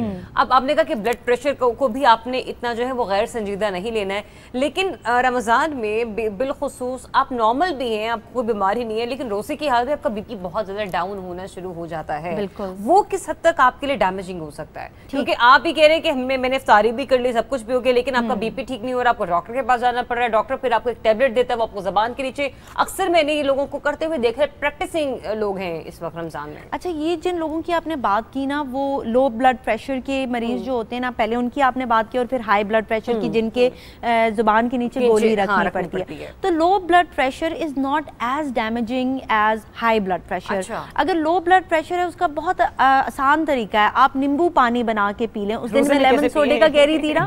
تو وہ بھی یہ کہ اگر مجھے کل ایک میرے کلیگ ہیں ان کی کال آئی اور انہوں نے مجھے کہا کہ مجھے ایک دم سے پسینے آنے شروع ہو گئے اور میرا انرجی لیول ڈاؤن ہو گیا اور مجھے ایسا لگا جیسے مجھے چکر آ رہا ہے تو میں نے ان کو کہا کہ آپ کو ڈی ہائیڈریشن ہو رہی تھی تو اگر آپ کا لو بی پی ہو رہا ہے اس کا مطلب ہے کہ آپ نے پانی پینا ہے نیمبو پانی بنا کے پی لیں جلدی سے کوئی آ، نیمبو پانی نہیں ہے تو پانی میں تھوڑا سا نمک اور شوگر ملا کے پی لیں انسٹنٹ بوسٹ کے لیے انرجی۔ کے لیے۔ تو لو بی پی اتنا ڈینجرس نہیں ہے until unless it crosses 90 by 70 is the cut off point اگر اس سے نیچے ہو جاتا ہے دین اٹ از ڈیمیجنگ اور وہ انہی سچویشنز میں ہوتا ہے جس میں اگر خدا نخواستہ انٹرنل بلیڈنگ ہو رہی ہو۔ اچھا اب ہائی بلڈ پریشر یہ وہ لوگ ہوتے ہیں جو کہ جن کو آپ نے کہا کہ زبان کے نیچے گولی رکھی جاتی ہے تو this is very very dangerous اگر وہ گولی نہ رکھی جائے تو آپ کی کڈنیز فیل ہو سکتی ہیں جس طرح میں نے کہا کہ سٹروک ہو سکتا ہے ہیمریجک جو ہے آپ کو پیرالسس ہو سکتا ہے یعنی آپ کے برین میں بلیڈنگ ہو سکتی ہے۔ تو بہت ضروری ہوتا ہے کہ آپ بلڈ پریشر نیچے لے کر آئیں۔ اچھا بہت سارے لوگ نا جو کہ روزہ رکھ رہے ہوتے ہیں اور ان کو بلڈ پریشر ہوتا ہے، وہ اس کو اتنا سیریس نہیں لیتے۔ وہ کہتے ہیں، نہیں بلڈ پریشر کا کیا ہے؟ اتنا نہیں۔ نہیں، بہت امپورٹنٹ ہے کہ آپ اپنی دوائی ٹائم سے لیں۔ آپ نے جو آپ کی مین گولی ہے، وہ آپ افطار کے بعد لے لیں۔ کیونکہ اب آپ کا جو مین میل ہے وہ افطار پہ آپ لے رہے ہیں رائٹ تو آپ نے جو مین اپنی بلڈ پریشر کی گولی ہے جیسے ہی ہم لوگ کھانا کھاتے ہیں اور ایک ہیوینس آتی ہے تو بلڈ پریشر اوپر کی طرف جاتا ہے۔ تو آپ نے اپنی مین میڈیسن اس وقت لے لینی ہے۔ اگر کوئی سیکنڈ میڈیکیشن ہے بلڈ پریشر کی تو وہ پھر آپ نے سحر میں لے لینی ہے۔ اور اب اتنی اچھی دوائیاں مارکیٹ میں اویلیبل ہیں کہ ان کا لانگ لاسٹنگ کنٹرول ہے دے آر ویری گڈ اچھا ایک اور بات میں بتانا چاہوں گی کہ بہت زیادہ ضروری ہے کہ آپ اپنی بلڈ پریشر کی میڈیکیشن بھی ایڈجسٹ کروا لیں۔ جس طرح کہ ہم نے ڈائبٹیز کی میڈیکیشن کی بات کی تھی کہ ان کا ایڈجسٹ ہونا بہت زیادہ ضروری ہے۔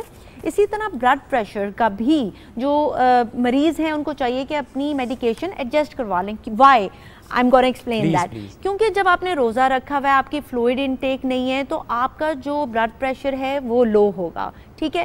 اب لو ہو رہا ہے اور اوپر سے آپ دوائی بھی لے رہے ہیں۔ بلڈ پریشر لو کرنے والی۔ تو وہ ایڈڈ ایک افیکٹ آ جائے گا۔ ٹھیک ہے۔ تو اس لیے آپ نے ڈوز ایڈجسٹمنٹ کروا لیں ڈاکٹر کو دکھا لیں۔ اپنے روٹین کے حساب سے اپنے ظاہر سحر رفتار کے جو آپ کھانا پینا کر رہے ہیں اس کے حساب سے۔ اب۔ چونکہ بلڈ پریشر کی بات ہو رہی ہے تو آپ نے میڈیسنس کی بات کی۔ مارکیٹ میں کچھ مرکبات بھی اویلیبل ہوتے ہیں۔ میں نام نہیں لیتا لیکن اس میں سرکہ بھی ہوتا ہے اس میں لیمن بھی ہوتا ہے اس میں جنجر بھی ہوتا ہے۔ اور کہا جاتا ہے کہ اچھا یہ سیب کا سرکہ اسپیسیفکلی کہ یہ چیزیں استعمال کرنے سے آپ کا کولیسٹرول کٹ ڈاؤن ہوتا ہے. آپ کا آپ کی رائے کیا ہے اس بارے میں؟ دیکھیں میں ہمیشہ اپنے پیشنٹ کو بھی کہتی ہوں کہ ایک کمبائنڈ اپروچ لے کے چلنا چاہیے۔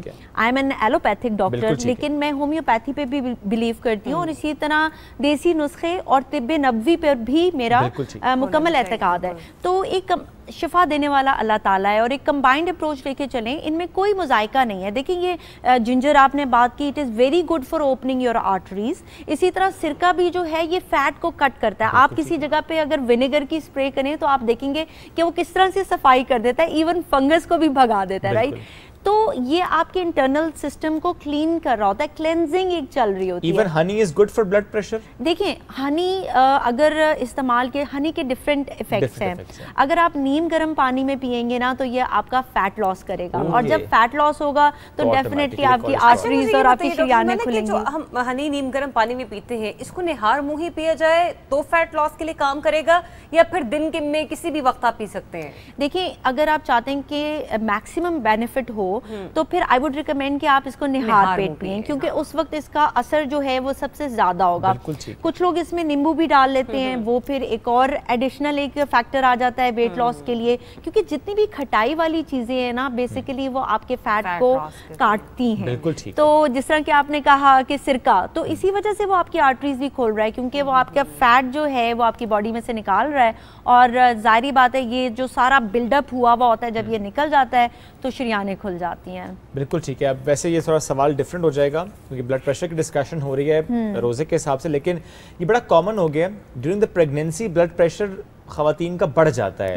اور تھرو آؤٹ دا پریگنینسی انہیں لینی پڑتی ہے۔ میری میری وائف دونوں دفعہ یہی ایشو تھا۔ تو میں بڑا نوٹ دیکھتا ہوں اس کو کہ کیوں ہے یہ؟ تو تھوڑا سا ریکمینڈ بھی کریں کہ کیا کرنا چاہیے اور یہ کیوں ہوتا ہے۔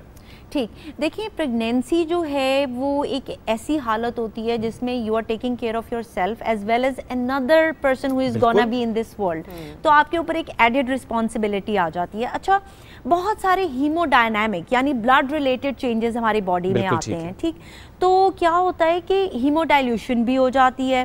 اسی طرح بعض لوگوں کو بلڈ پریشر کا مسئلہ شروع ہو جاتا ہے اور بعض لوگوں کو ایون شوگر کا پرابلم بالکل ایسے گیسٹیشنل ڈائبٹیز ہو جاتی ہے۔ بالکل جسٹیشنل ڈائبٹیز ہو جاتی ہے۔ جن لوگوں کو کبھی بھی نہیں ہوا ہوتا ان کو پریگنینسی میں ہو جاتا ہے۔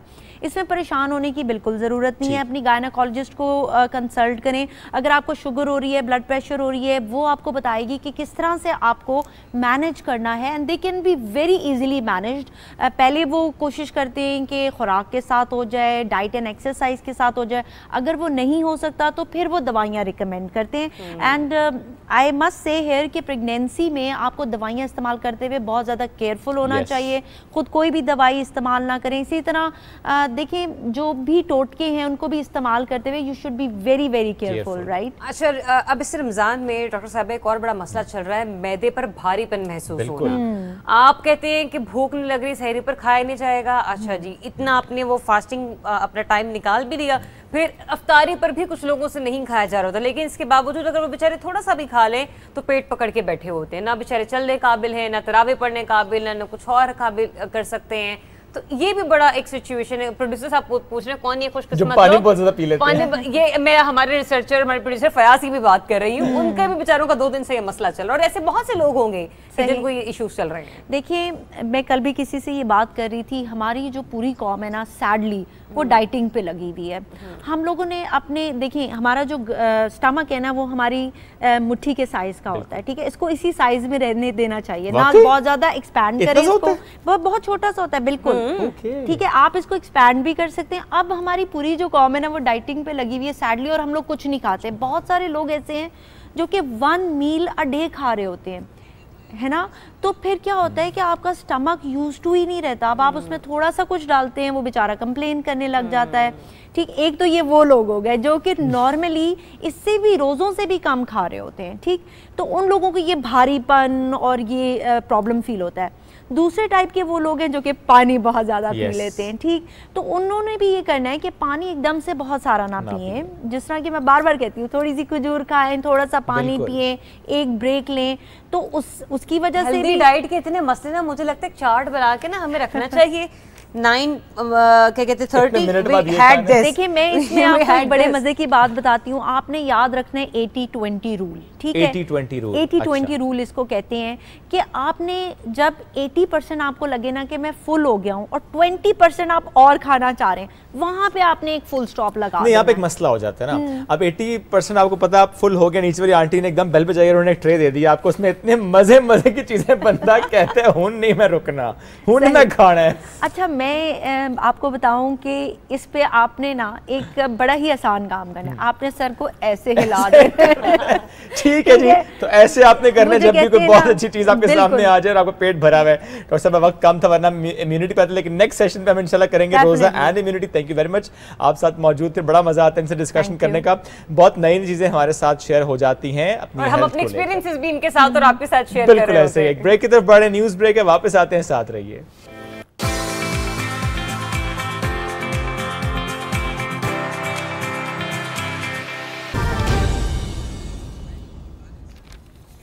صبح پاکستان میں نئے سرے سے خوش آمدید۔ اس گھنٹے میں آج ہم شیر خدا، حضرت علی رضی اللہ تعالیٰ عنہ کی شہادت کے موضوع پر گفتگو کریں گے۔ کل بھی ہماری یہ کوشش تھی چونکہ زخمی انیس رمضان المبارک کو ہوئے، تو ہم نے کل حضرت علی سے متعلق بھی گفتگو کی تھی، فتح مکہ پر بھی کچھ گفتگو ہوئی۔ اور آج اس پروگرام کا جو آغاز کریں گے، اس گھنٹے کا جو آغاز کریں گے، وہ ہم تلاوت قرآن پاک سے کریں گے، جس کے لیے ہمارے ساتھ موجود ہیں قاری محمد عبد الرحمن صاحب۔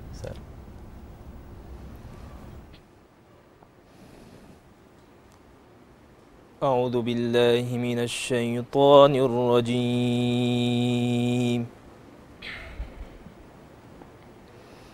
بسم الله الرحمن الرحيم.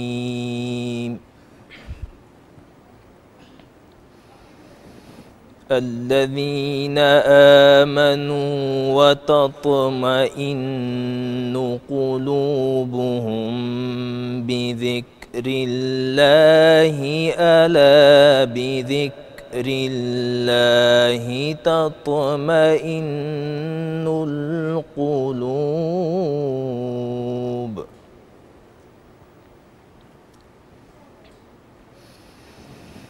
الذين آمنوا وعملوا الصالحات طوبى لهم وحسن مآب.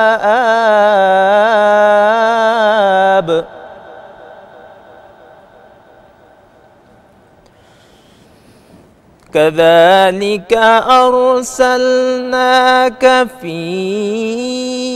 أمة قد خلت من قبلها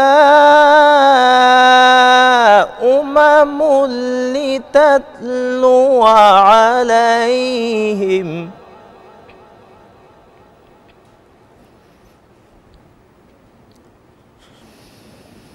أمم لتتلو عليهم الذي أوحينا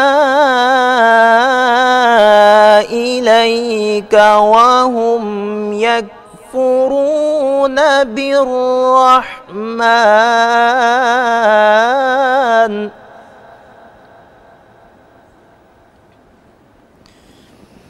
قل هو ربي لا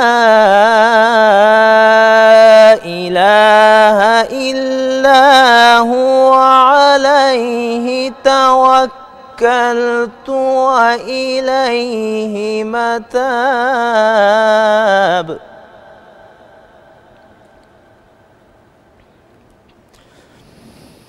ولو أن قرآنا سيرت به الجبال أو قطعت به الأرض أو كلم به الموتى بل لله الأمر جميعاً.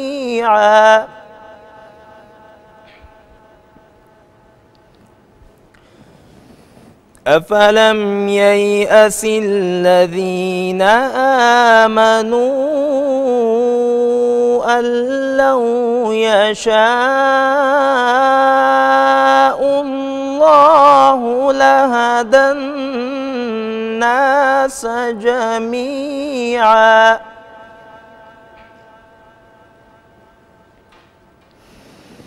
ولا يزال الذين كفروا تصيبهم بما صنعوا قارعة أو تحل قريبا من دارهم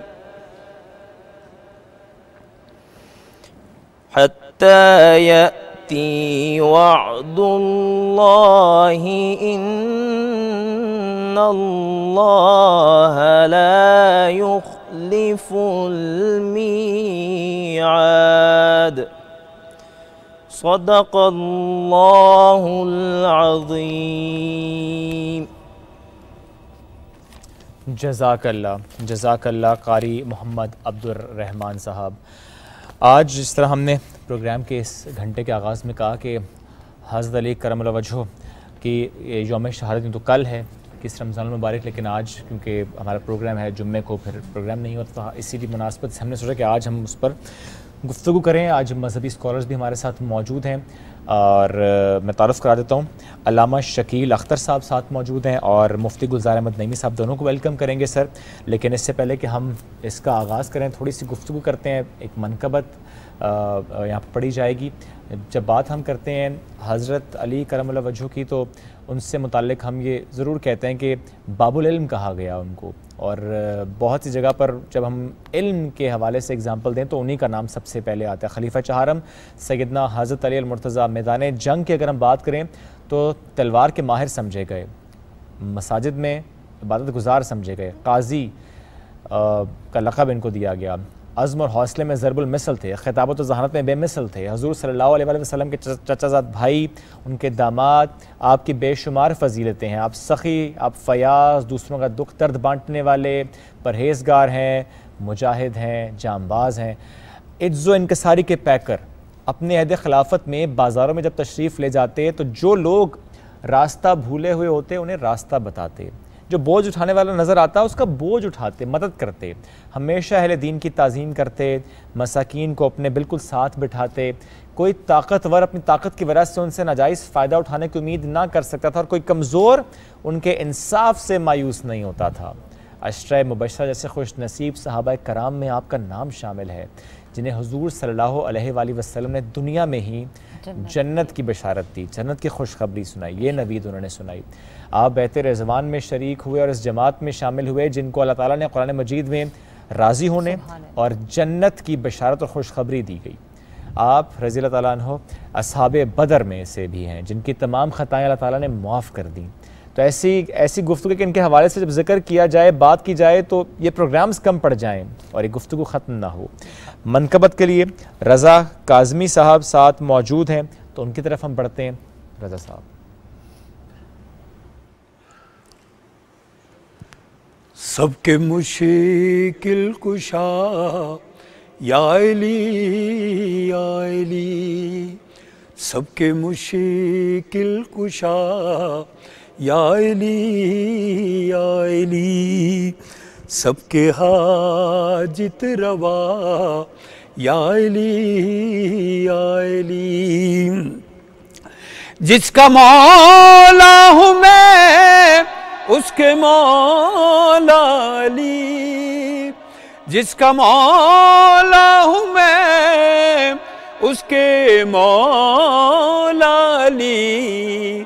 خود نبی نے کہا، یا علی یا علی، خود نبی نے کہا، یا علی یا علی۔ جس کسی پر نظر آپ کی پڑ گئی، جس کسی پر نظر آپ کی پڑ گئی، آپ کا ہو گیا۔ یا علی یا علی، آپ کا ہو گیا۔ یا علی یا علی۔ اور جس کسی کی نظر آپ پر پڑ گئی جس کسی کی نظر آپ پر پڑ گئی، دیکھتا رہ گیا، یا علی یا علی، دیکھتا رہ گیا، یا علی یا علی۔ اور جب بھی مشکل پڑی ہر بلا ٹل گئی۔ جب بھی مشکل پڑی، ہر بلا ٹل گئی۔ میں نے اتنا کہا، یا علی یا علی۔ میں نے اتنا کہا، یا علی یا علی۔ اور وہ بلائے تو پوم چوم سیدھا نجف وہ بلائے تو پہنچوں میں سیدھا نجف ورد کرتا ہوا، یا علی یا علی، ورد کرتا ہوا، یا علی یا علی۔ آپ کے در سے خالی نہ لوٹا کوئی۔ آپ کے در سے خالی نہ لوٹا کوئی جس نے مانگا دیا۔ یا علی یا علی، آپ کے چاہنے والے صدا خوش رہیں۔ آپ کے چاہنے والے صدا خوش رہیں۔ ہے حسن کی دعا، یا علی یا علی، سب کے مشکل کشا، یا علی یا علی یا علی یا علی یا علی یا علی۔ جس کا مولا ہوں میں، اس کا مولا علی، یا علی یا علی، بہت خوبصورت منقبت رضا قاسمی صاحب، بہت ہی خوبصورت انداز میں آپ نے حضرت علی کی مدح سرائی کی۔ اپنے مہمانوں کی جانب میں اسی منقبت کے جملے سے آؤں گی۔ میں پہلے بھی اس پر بات کرنا چاہ رہی تھی، لیکن اتفاق یا حسن اتفاق ہے کہ انہوں نے اسی کے ساتھ ہی اپنی منقبت کا اختتام بھی کیا۔ مفتی گلزار نعیمی صاحب، سب سے پہلے تو میں آپ سے یہ جاننا چاہوں گی کہ جب ہم یہ کہتے ہیں کہ جس کا مولا علی اس کا مولا نبی اور جس کا مولا نبی، اس کا مولا علی۔ یہ اپنا اور علی کے درمیان کا جو حضور اکرم صلی اللہ علیہ وسلم نے محبت کا جذبہ بیان کیا ہے، یہ جذبہ کیا ہے؟ اس کا معیار کیا ہے؟ بسم اللہ الرحمن الرحیم۔ بہت شکریہ۔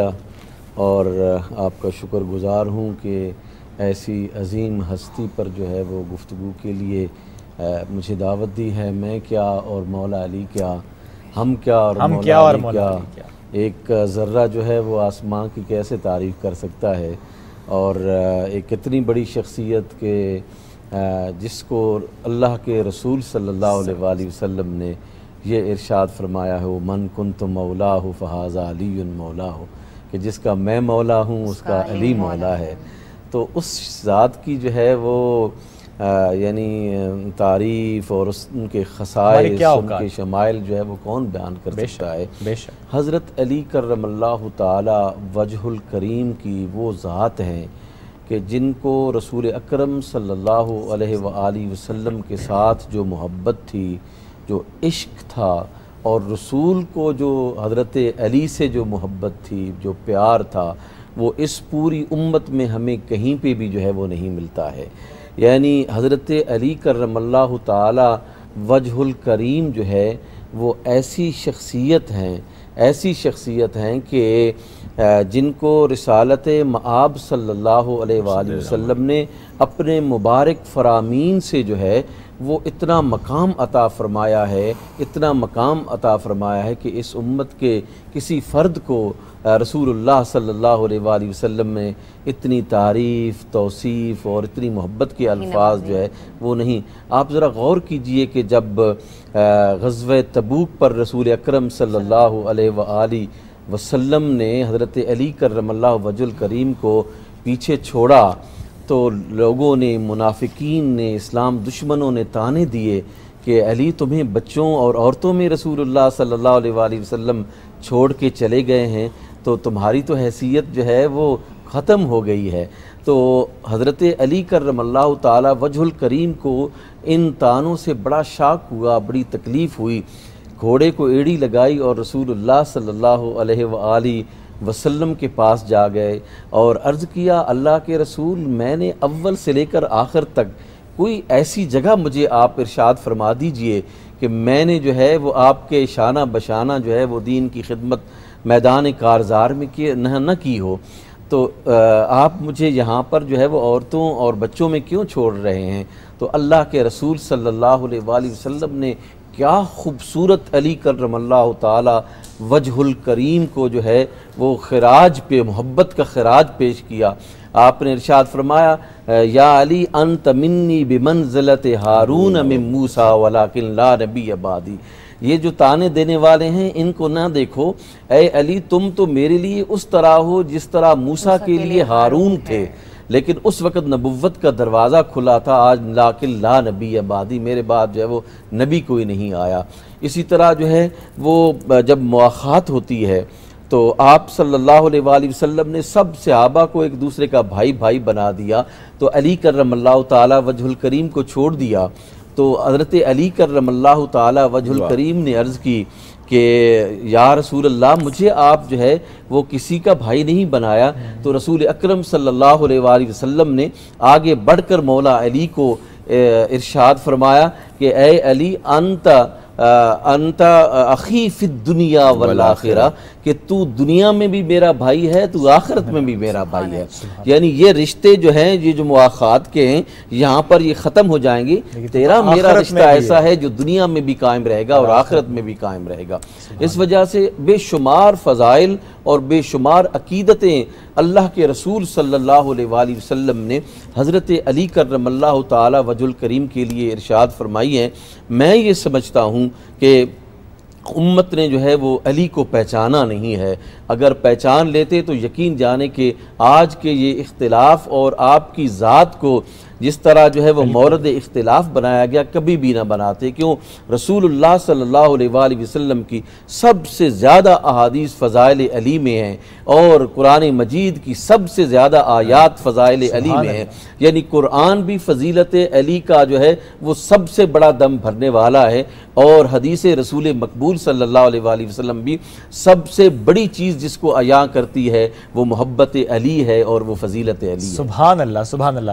علامہ صاحب، حضرت علی کرم اللہ وجہ الکریم کی جب ہم بات کریں، مولود کعبہ، ولادت کعبہ میں ہو رہی ہے، شہادت مسجد میں ہو رہی ہے، یہ دو عظیم رتبے ان کے۔ بسم اللہ الرحمن الرحیم، بہت شکریہ۔ قبلہ نعیمی صاحب نے بہت تفصیل سے گفتگو کر دیے ایک بات ذہن میں رکھیے گا کہ جب ہم کسی کی تعریف کرتے ہیں، کچھ چیزیں مشترکہ ہوتی ہیں۔ مثلا آپ بھی رحم دل ہیں، میں بھی رحم دل ہوں۔ نعیم صاحب کچھ زیادہ رحم دل ہوں گے۔ لیکن کچھ صفات ایسی جس میں مولائے کائنات کا کوئی شریک نہیں۔ اور وہ ہے انا والی من نور واحد۔ رسول کی حدیث ہے میں اور علی ایک نور کے دو ٹکڑے ہیں اس میں کوئی اور شریک نہیں ہو سکتا۔ انا مدینہ العلم والی بابوہا میں شہر علم ہوں علی اس کا دروازہ ہے۔ جتنی بھی نسبتیں دی ہیں نبی کریم صلی اللہ علیہ وسلم نے مولا کائنات کو اپنی ذات سے دی ہیں۔ ذات سے۔ ٹھیک یہ ایک فضیلت کی بات۔ ہمارے لیے مرکز و محور ہے رسول اکرم کی ذات گراوی وہ ہمارا مرکز ہے۔ جب ان سے نسبت دی جائے گی پھر جو چیزیں ممتاز کرتی ہیں ممیز و ممتاز کرتی ہیں مولا کائنات حضرت علی علیہ السلام کو وہ اگر تیزی سے میں گنانا شروع کروں کہ کعبے میں ولادت کوئی ان کا شریک لا شریک ہے۔ یعنی اس فضیلت میں کوئی شریک نہیں ہو سکتا دیکھیں کعبے میں ولادت کوئی معمولی چیز نہیں معمولی چیز نہیں۔ کعبے میں اللہ کا گھر ہے وہاں پہ علی مولا کائنات کو نبی سے پہلے عبادت کا انتظام نہ تھا ادب رسول کا خالق کا احترام نہ تھا نماز ہوتی بھی قائم تو کس طرح ہوتی؟ خدا کا گھر تو بنا تھا مگر امام نہ تھا۔ تو جناب مولا کائنات وہ وہاں اس کے بعد جتنی منزلیں اگر آپ تیزی سے گزریں گے بدر احد خندق خیبر ان سب کا فاتح مولا کائنات نظر آتی ہیں۔ اور آخری حج کے بعد جہاں بھی آپ گفتگو کر رہے تھے کہ میں جس کا مولا ہوں اس کا علی مولا ہے یہ یوں ہی ایک جملہ نہیں کہہ دیا گیا۔ اس کے لیے پورا اہتمام کیا گیا اور تاریخ نے لکھا اور غدیر میں ایک پورا ممبر سجا۔ اور پالانوں کا ممبر بنا اور وہاں بلند کر کے کہا کہ من کن تو مولا فاحض علی جس کا میں مولا ہوں اس کا۔ دیکھیے اس میں ایک چھوٹی سی بات ہے۔ یہ کہہ دینا کہ جس کا میں مولا اس کا علی مولا ہے یہ ایک سینٹنس ہے۔ لیکن اس کے پس منظر میں قبل آپ اس سے بہتر جانتے ہیں پورا ایک خطبہ ہے۔ بالکل۔ جسے خطبہ غدیر کہتے ہیں۔ پہلے حج کیا جو سمجھیے آب زمزم سے وضو کرنے کے بعد طواف کعبہ کرنے کے بعد سب کو بالکل کہتے ہیں نا حج کرنے کے بعد لوگ ایسا پاک و ظاہر جیسے ابھی ماں کے پیٹ سے دنیا میں تشریف لائیں تو یہ سارا مجمع ایک پاک لوگوں کا مجمع ہے۔ اس میں کہہ رہے ہیں کیا جو میری ذمہ داری سے میں نے پوری کر دی جو کچھ مجھے پہنچانا تھا تم تک پہنچایا سب نے کہا بلا یا رسول اللہ۔ پھر اس کے بعد پالانوں کا ممبر بنایا اور علی کو بلند کر کے کہا من کن تو مولا فحاظ علی مولا۔ دیکھیے ایک ایڈمنسٹریٹو انداز سے دیکھیں کہ ایک منصب رسالت کا جا رہا ہے اگلا منصب امامت کا شروع ہو رہا ہے۔ تو یوں سمجھیے کہ ہینڈنگ ٹیکنگ اوور ہو رہی ہے کہ آج کے بعد سے جو ہماری انٹرپریٹیشن ہے جو دین کی وہ تمہارے حوالے کر کے جا رہے ہیں اچھا یعنی اتنا وقت آپ کے پاس نہیں ورنہ میں گزارش کر رہا تفصیل سے جو سب سے بڑی فضیلت ہے وہ پوری کائنات میں مولا کائنات کی یہ صدا جو گونج رہی ہے اس کا کوئی شریک نہیں۔ وہ کیا ہے؟ سلونی سلونی قبل ان تفقدونی۔ پوچھ لو جو کچھ پوچھنا ہے قبل اس کے کہ میں تمہارے درمیان نہ چلا ہوں جاؤں۔ یا کھو جاؤں۔ یہ دعویٰ چودہ صدیاں گزر گئی ہیں۔ آج تک کوئی بڑے سے بڑا عالم نہیں کر سکتا نہیں کہ کر سکتا۔ دیکھیں پوچھ لو جو کچھ پوچھنا ہے۔ میں زمین کے راستوں سے بہتر آسمان کے راستے جانتا ہوں۔ یہ جملہ ہے کہ میں زمین کے راستوں سے بہتر فرانس کا ایک بہت بڑا مورخ ہے اس نے کہا کہ کاش میں مولا کائنات کے زمانے میں ہوتا کہ وہ اتنا بڑا دعویٰ ایک شخص کر رہا ہے اور اس سے پوچھا جا رہا ہے انڈے دینے والے جانور کون سے ہیں بچے دینے والے جانور کون ہیں؟ میں ہوتا تو میں پوچھتا یہ کہکشاں کیا ہے؟ یہ نظام شمسی کیا ہے؟ میں یہ سوالات پوچھتا۔ اچھا جتنے منصب آپ نے گنائے ہیں ہر مقام پر، مقام قضا، جسے فیصلے کی منزلیں کہتے ہیں۔ آج کا نوجوان کہتا ہے کہ جناب یہ علماء کرام ہمیں دین پرانی تعلیم دے رہے ہوتے ہیں۔ مولا کائنات کے فیصلوں میں وقت نہیں ہے۔ میتھ، میتھمیٹیشین اگر کوئی ہے تو مولا کائنات بہت سے فیصلے اس میں فزکس، کیمسٹری بایولوجی ہر چیز ہے۔ دو فیصلے میں ایسا بیان کر رہا ہوں جو آج کا کوئی بھی ماسٹرز کرنے والا بچہ مجھ سے براہ راست بات کرے۔ سترہ اونٹ لے کر کچھ لوگ امام مولا کائنات کے پاس آئے اور کہا کہ اس کو ایسا تقسیم کریں کہ اس کو ذبح نہ کریں۔ ایک کو ایک بٹا نو ملے ایک کو ایک بٹا چھ ملے ایک کو ایک بٹا دو ملے۔ ٹھیک۔ سترہ اونٹ تقسیم نہیں ہوتی جو میتھس جانتے ہیں۔ ٹھیک ہے۔ لیکن میتھس کا ایک اصول ہے میں خود میکینیکل انجینئر ہوں آپ لوگ اس کو بہتر جانتے ہیں کہ سپوز کیا جاتا ہے۔ سپوزیشن ہوتی ہے اس کے بعد سپوزیشن کو واپس لے لیا جاتا ہے جب آنسر نکل آتا ہے۔ بالکل ایسے ہی۔ سترہ اونٹ کو تقسیم نہیں یہ میتھ کا علم ہے۔ میتھمیٹکس ہے. میں دنیاوی علم کی بات کر رہا ہوں اس زمانے کی بات کر رہا ہوں۔ جب کہا نا کہ سترہ اونٹ تقسیم کرنے ایک تو کوئی سوال قبول دونوں فریقوں کو جو ہوا ہی نہیں علی نے فیصلہ ایسا کوئی کیا ہی نہیں۔ سترہ اونٹ آئے تو اب سترہ تقسیم نہیں ہو سکتے ایک مبہوت ہے پورا مجمع کے مولا کائنات کیا کریں گے؟ کمبر سے کہا میرا اونٹ لاؤ۔ اس کو اس میں شامل کیا اٹھارہ ہو گئے۔ کہا تمہیں کتنا چاہیے؟ اس نے کہا جی مجھے ایک بٹا نو ایک بٹا دو چاہیے۔ دو سے آپ تقسیم کریں نو اس کو دے دیے۔ تمہیں کتنا چاہیے؟ ایک بٹا چھ چھ تین اٹھارہ نو اور تین پندرہ اس کو دے دیے۔ تمہیں کتنا چاہیے؟ ایک بٹا دو۔ اٹھارہ کا ایک بٹا دو نو کا دو۔ نو چھ پندرہ دو سترہ تقسیم ہو گئے۔ کمبر سے کہا میرا اونٹ مجھے واپس کر دو۔ یہ وہ فیصلہ ہے جو آج کا میٹریشین آپ کو بتائے گا۔ بینسی ہم لوگ بیالوجی فزکس میں پڑھتے ہیں بینسی اچھال کی قوت جسے کہتے ہیں۔ ہم لوگ بھی پڑھتے ہیں اس کا ہم اس کا استعمال نہیں کرتے لیکن مولا کائنات نے کیسے فیصلہ کیا؟ اب یہ مجھے نعیمی صاحب کی ہمسری بہت اچھی لگ رہی ہے کہ انہوں نے وہ باتیں چھیڑی ہیں جو ایک لوگ کچھ لوگوں نے لوہے کا بہت بڑا دروازہ بنانے کا حکم دے دیا ایک لوہار کو۔ دروازہ تیار ہو گیا۔ جب تیار ہو گیا تو اس نے کہا کہ پیسے دیں۔ اس نے کہا یہ پیسے آپ اس کو تول لیں، ہم آپ کو پیسے دے دیں گے۔ طے تو ہوا نہیں ہے کہ اس کا وزن کر لیں، ہم پیسے دیں۔ اب اتنے بڑے لوہے کا اس زمانے میں کوئی ڈیجیٹل سسٹم تو نہیں تھا کیسے وزن کرے؟ نیت خراب تھی کہ پیسے دینے نہیں چاہتے تھے۔ یہ فیصلہ پہنچا مولا کائنات کے پاس۔ مولا کائنات نے کیا کیا؟ کہا اس کو لے جاؤ دریا کے کنارے۔ اس کو کشتی پہ ڈالو۔ کشتی پہ ڈالا تو اب کشتی پانی میں ایک خاص حد تک چلی نیچے گئی۔ وہاں پہ نشان لگوا دیا۔ دیکھیے میں وہ ساری باتیں کر رہا ہوں جو آج کے دور کی بات کر رہے ہیں کہ جب آپ ہمیں دین کی باتیں کرتے ہیں اس میں فزکس کیمسٹری بایولوجی کا ہے وہ نشان لگا لیا پھر اس لوہے کے دروازے کو اتار لیا۔ پھر لکڑی کے یا لوہے کے چھوٹے چھوٹے پیسز کو اس سے کشتی کو بھرا۔ جب اسی نشان تک وہ کشتی واپس آئی تو وہ سارے لوہے کے ٹکڑے اتار لیے کہا اس کو تولو اس کا وزن کرو اور اس کے پیسے اس کو ادا سبحان اللہ۔ یہ وہ باتیں ہیں۔ اگر آپ ایک منزل یہ تو فیصلوں کا مقام ہے نا علم کے مقام پر آئیں گے۔ مولا کائنات گزر رہے ہیں ایک جگہ سے۔ تو وہاں کے بستی کے لوگوں نے کہا کہ مولا یہاں جو پانی نکلتا ہے زمین سے اس میں شکلیں ٹوٹتی بنتی ہیں۔ اب آپ لوگ ان کو سمجھتے ہیں کہ شکلیں ٹوٹتی بنتی ہیں پانی میں اور ہم جب پیتے ہیں تو اس کا ذائقہ بڑا بدمزہ ہے۔ تو مولا کائنات نے کہا کہ اس کے دو جواب ہیں۔ ایک جواب تمہارے لیے اور ایک جواب آنے والے زمانے کے لیے یہ خیال رکھیے گا کہ عرب کا عرب کی سرزمین ہے۔ ٹھیک۔ کا تمہارے لیے جواب یہ ہے کہ تم یہ پانی نہ پینا تمہاری صحت کے لیے مضر ہے۔ اور آنے والے زمانے کے لیے جواب یہ ہے کہ اس میں اتنی طاقت کا اس کو کشید کر کے پورے کائنات کا دنیا کا نظام چلے گا۔ پٹرول بہ رہا تھا وہاں پہ۔ اور مولا یہ تو نہیں کہہ سکتے پٹرول ہے لیکن مولا نے جواب آنے والے زمانے کے لیے دیا۔ سبحان اللہ۔ تاریخ بھری پڑی۔ ہے دیکھیے اب آپ فضیلتوں کی جب بات کریں گے یہ تو ہے نا انفرادی اس میں کوئی شریک نہیں۔ شجاعت ایک ایسا ہنر ہے اجازت کا میں نعیمی صاحب سے لوں گا جب کوئی حملہ کرتا ہے تلوار چلتی ہے تلوار چلنے میں کچھ مارے جاتے ہیں کچھ زخمی ہوتے ہیں۔ میں بڑے دعوے کے ساتھ کہہ رہا ہوں مجھے مورخ تاریخ میں ایک آدمی ڈھونڈ کے دکھائے جو علی کی تلوار کا زخمی ہو۔ اور وہ آ کے کہے کہ میں علی کی تلوار سے بچ کر زخمی ہو گیا تاریخ میں ملے گا نہیں وجہ کوئی نہیں۔ ہر چیز کا کمال ہوتا ہے، تلوار کا کمال ہے، کاٹنا۔ مولا کہنا ہے، جس کو بھی قتل کیا، دو حصوں میں مرب ہو، انتر ہو، جو بھی ہو، دو حصوں میں، یا اوپر سے نیچے دو حصوں میں تقسیم کیا ہے، یا درمیان سے دو حصوں میں تقسیم کیا ہے۔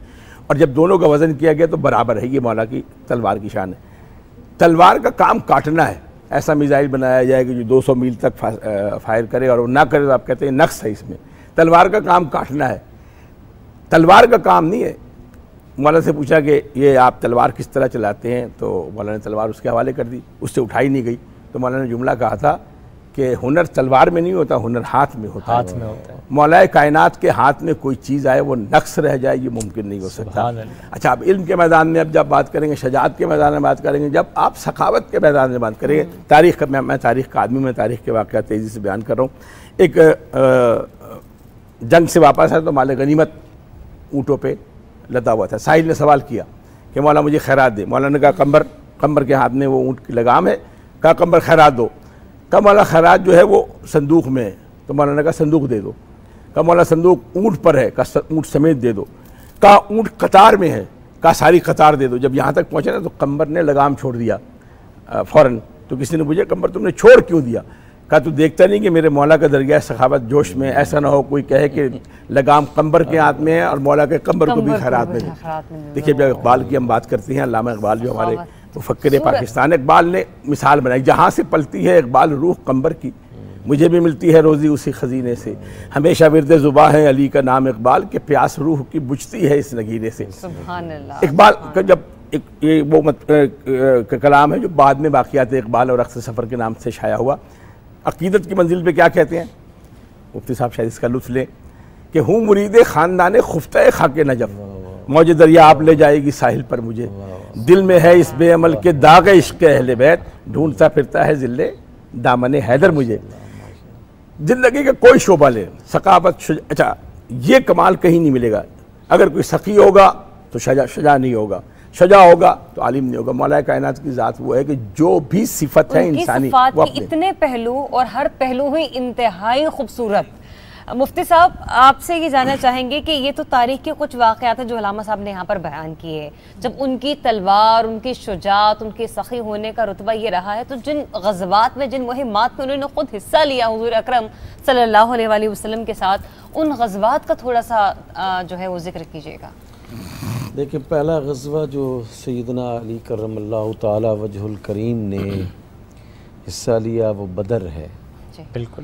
اور بدر میں آپ دیکھتے ہیں کہ اللہ کے رسول صلی اللہ علیہ وآلہ وسلم نے جب مولا علی کرم اللہ تعالی وجہ الکریم کو بھیجا تو بدر کے ستر جو کافر جہنم واصل ہوئے ہیں۔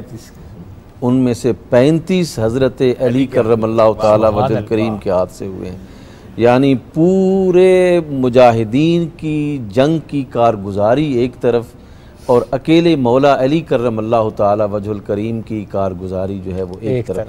اور یہ بھی ذہن میں رہنا چاہیے کہ یہ پہلا غزوہ تھا جس میں حضرت علی کرم اللہ تعالیٰ وجہ الکریم نے جو ہے وہ شرکت کی ہے یعنی آپ یہ سمجھیں کہ مجھے مجھے اصل میں میں آپ کو عرض کروں کہ دیکھیں، یہ جو حق ہے نا حق، یہ ایک بڑی قوت ہے جس کو اللہ عطا فرما دیتا ہے۔ وہ بڑا آدمی ہوتا ہے اور اس کا وہ بے مثال شخصیت ہوتی ہیں۔ لیکن ایک تو یہ ہے نا کہ ہم دعا مانگتے ہیں، اللہ مجھے حق کا راستہ دکھا۔ رسول اکرم صلی اللہ علیہ وآلہ وسلم نے جو ہے وہ حضرت علی کرم اللہ تعالی وجہ الکریم کے لیے یہ نہیں فرمایا۔ کہ آپ اے اللہ علی کو حق کا راستہ دکھا آپ نے فرمایا کہ مولا اللہم آدر الحق ماہو حیث دار علی کہ مولا حق کو اس طرف پھیرتا جا جس طرف علی چلتا جاتا ہے۔ یعنی ہم حق کے پیچھے چلتے ہیں اور حق جو ہے وہ علی کے پیچھے چلتا ہے۔ بس جہاں دیکھو علی وہاں سمجھو حق۔ وہاں پہ آ کے علی جہاں کھڑا ہے وہاں سمجھو حق کھڑا ہے۔ علی کی ذات جہاں پر تشریف فرما ہے حق جو ہے وہ ادھر جو ہے وہ تشریف فرما ہوتا ہے۔ تو آپ نے ہمیشہ ہمیشہ جو ہے وہ یعنی حق نے آپ کو فالو کیا ہے اور حق جو۔ ہے آپ کے ساتھ ساتھ رہا ہے۔ جو علی جو جو کرتے چلے گئے حق جو ہے اس کی تائید خود بخود جو ہے وہ کرتا۔ چلے چلا گیا کہ حضرت علی جیسے حضرت بھی فرما رہے تھے کہ حضرت علی کرم اللہ تعالی وجہ الکریم کی زندگی کا کوئی ایسا لمحہ نہیں گزرا کہ جہاں علی جو ہے وہ حق پر نہ ہوں۔ آپ جتنے مقامات دیکھتے ہیں جتنے مقامات آپ دیکھتے ہیں حضرت علی کرم اللہ تعالی وجہ الکریم جو ہے وہ ہمیں حق پر نظر آتے ہیں۔ وہ بدر کا میدان ہو وہ احد کا میدان ہو وہ جمل کا۔ میدان ہو وہ سفین کا میدان ہو جہاں کہیں بھی ہمیں نظر آتے ہیں علی جو ہے وہ حق پہ ہمیں نظر آتے ہیں۔ اور علی کی شان جو ہے وہ چونکہ یہی ہے کہ حق جو ہے وہ علی کے ساتھ کھڑا ہے۔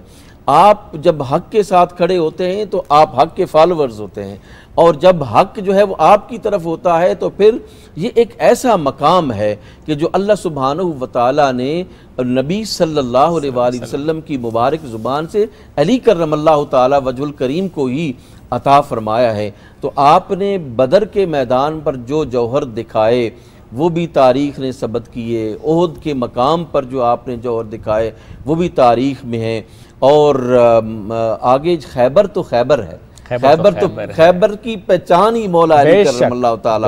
وجہ الکریم اور پھر اس دن حضرت علی کرم اللہ تعالی وجہ الکریم جو ہیں وہ آشوب چشم میں مبتلا تھے جب غزوہ خیبر کا اختتامی مرحلہ تھا تو اللہ کے رسول صلی اللہ علیہ وآلہ وسلم نے ایک دن قبل یہ ارشاد فرما دیا جب وہ جو ہے وہ فتح نہیں ہو رہا تھا، تو آپ نے ایک دن قبل جو ہے وہ یہ فرما دیا کہ کل میں جھنڈا اس کے ہاتھ میں دوں گا جو اللہ اور اس کے رسول سے محبت کرتا ہے اور اللہ اور اس کا رسول اس سے محبت کرتے ہیں۔ آپ صلی اللہ علیہ وآلہ وسلم نے یہ ارشاد فرمایا کہ اللہ اور اس کا رسول بھی اس سے محبت کرتا ہے۔ تو جب دوسرا دن آیا تو حضرت علی کرم اللہ تعالی وجہ الکریم کو بلایا گیا اور صحابہ کرام کہتے ہیں، حضرت عمر فاروق رضی اللہ تعالیٰ عنہ کہتے ہیں، حضرت ابی سعود خدری رضی اللہ تعالیٰ جلیل القدر صحابہ کہتے ہیں، اے کاش ہماری تمام زندگی کی نیکیاں ایک طرف ہو جائیں اور خیبر میں جو رسول اللہ نے مقام جو ہے وہ علی ابن ابی طالب علیہ السلام کو عطا فرمایا ہے۔ وہ مقام اللہ جو ہے وہ ہمیں عطا فرما دیتا۔ یعنی یہ یہ صرف پارٹیسپیشن نہیں ہے۔ ایک مقام ہے۔ یہ یہ مقام ہے۔ دیکھیں آپ ایک مجاہد کی حیثیت سے جو ہے وہ کسی جنگ میں شریک ہوتے ہیں۔ نہیں آپ جو ہے وہ آپ یعنی اس جنگ کو جو ہے وہ آپ کے ساتھ مناون کر دیا جاتا ہے۔ آپ کے ساتھ لگا دیا جاتا ہے۔ علی جو ہے کرم اللہ تعالی وجہ الکریم نے ہر موقع پر ہر موقع۔ اب دیکھیں کہ جب یہ غزوہ خندق ہوتی ہے اس غزوہ خندق میں کوئی بھی جو ہے وہ اس یعنی جو تھا بڑا آدمی تھا ان کا کفار کا مر مرحب جی عبد ود جو تھا اس کے مقابلے میں کوئی بھی جانے کے لیے تیار نہیں تھا کہ وہ جو ٹرنچ کھودی گئی اس میں تمام تر صلاحیتیں اور قوتیں جو ہیں وہ جواب دے دی گئی تھیں۔ اور حضرت علی کرم اللہ تعالی وجہ الکریم کو جو ہے اللہ کے رسول صلی اللہ علیہ وآلہ وسلم نے جب بار بار ارشاد فرمایا تو مولا علی نکلے۔ مولا علی نکلے اور جب مولا علی کرم اللہ تعالی وجل کریم نکلے تو پھر رسالت معاب صلی اللہ علیہ وآلہ وسلم نے جب عبد ود کے مقابلے میں علی کو کھڑا دیکھا تو آپ نے فرمایا کہ اللہ برز الایمان کلہ ما کفر کلی۔ آج دیکھو کہ مکمل ایمان مکمل کفر کے سامنے جو ہے وہ کھڑا ہے۔ تو حضرت علی کرم اللہ تعالی وجہ الکریم کو کل ایمان رسول اکرم صلی اللہ علیہ وآلہ وسلم نے ارشاد فرمایا ہے۔ تو یہ یہ پارٹیسپیشن سے اوپر کی باتیں ہیں۔ یعنی یہ جنگوں سے اوپر کی باتیں ہیں جو یعنی ایک ایک جو ہے وہ کسی کو قتل کرنا جو ہے یہ بڑا مقام ہے لیکن ایمان کی کل ایمان کی نمائندگی نمائندگی کرنا کل اسلام کی نمائندگی کرنا یہ علی کے ہی حصے میں اللہ سبحانہ و تعالیٰ نے رکھی کہ جہاں جہاں حضرت علی کرم اللہ تعالیٰ لیکن میں آپ کو عرض کروں حضرت علی کرم اللہ تعالیٰ وجہ الکریم نے یہ ارشاد فرمایا کہ ہم نے خلوص کے ساتھ رسول اللہ صلی اللہ علیہ وآلہ وسلم کا ساتھ دیا۔ اور اس خلوص کی وجہ سے اللہ نے ہمیں ہماری کمزوری کی وجہ سے وہ طاقت اور وہ توانائی عطا فرمائی کہ ہم نے بڑے بڑے دشمنوں کو جو ہے وہ زیر کیا۔ اگر ہمارے دل میں خلوص نہ ہوتا تو آج شجر اسلام کی کوئی ٹینی جو ہے وہ سرسبز و شاداب نہ ہوتی۔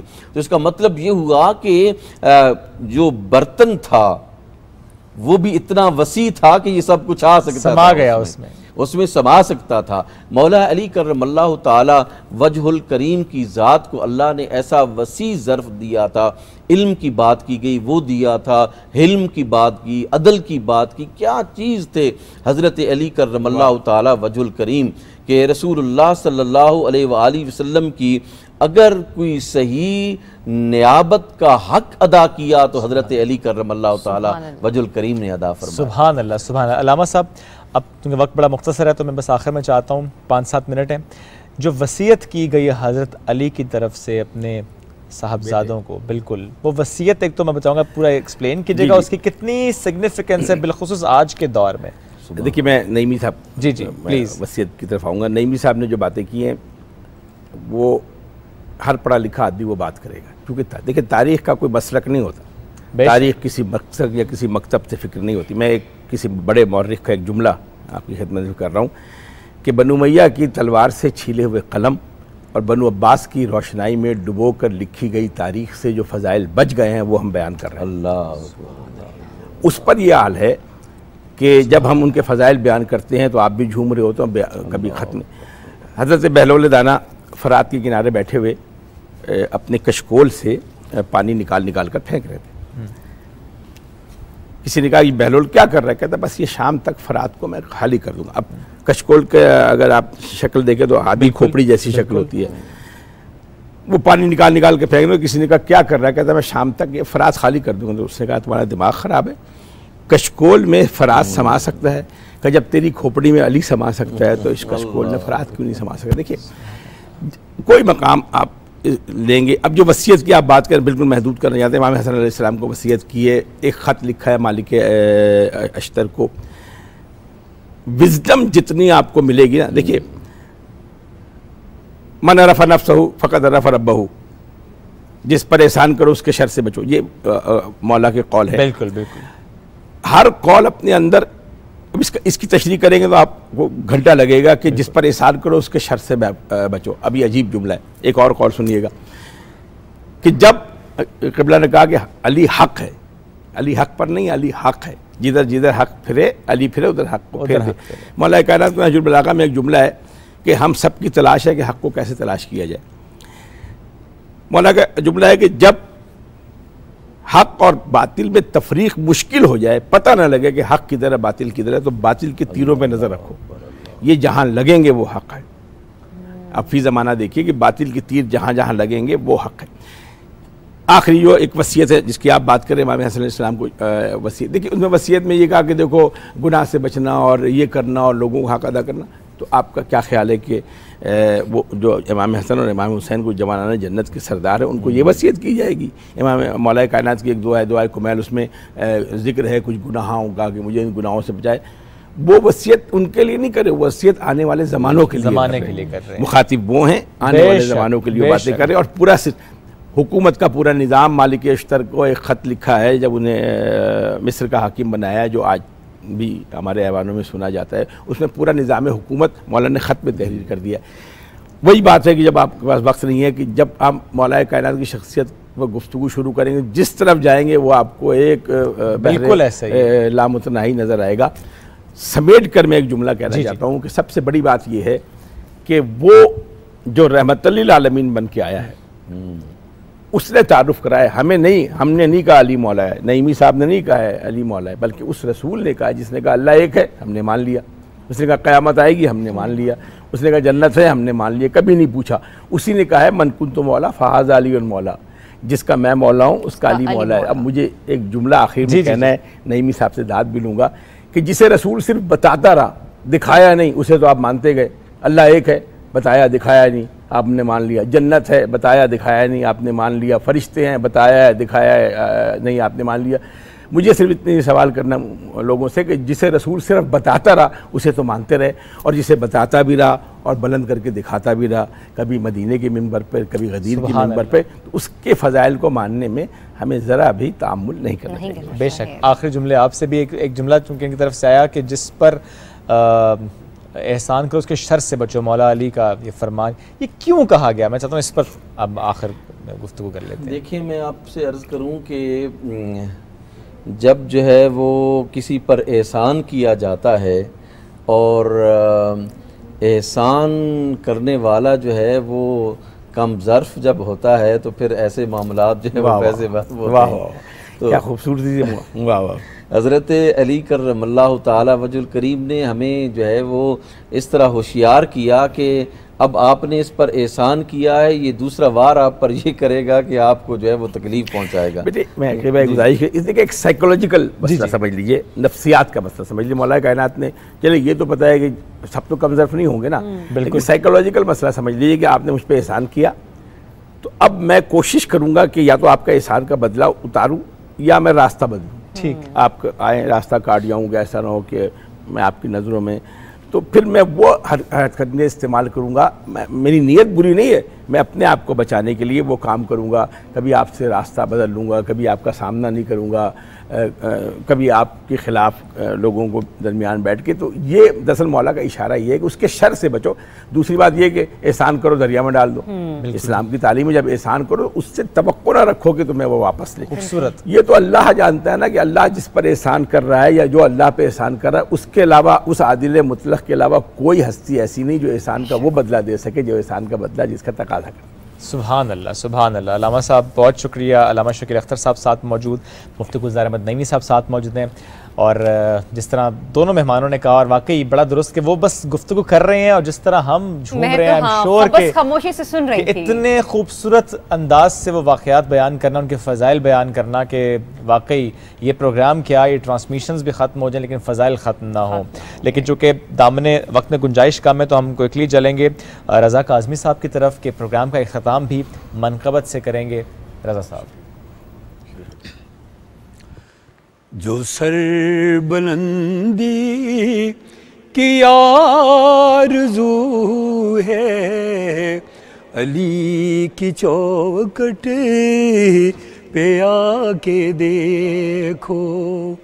جو سر بلندی کی آرزو ہے، علی کی چوکٹ پہ آ کے دیکھو، بڑھاؤ دستے طلب یہاں پر، یہاں پہ سر کو جھکا کے دیکھو۔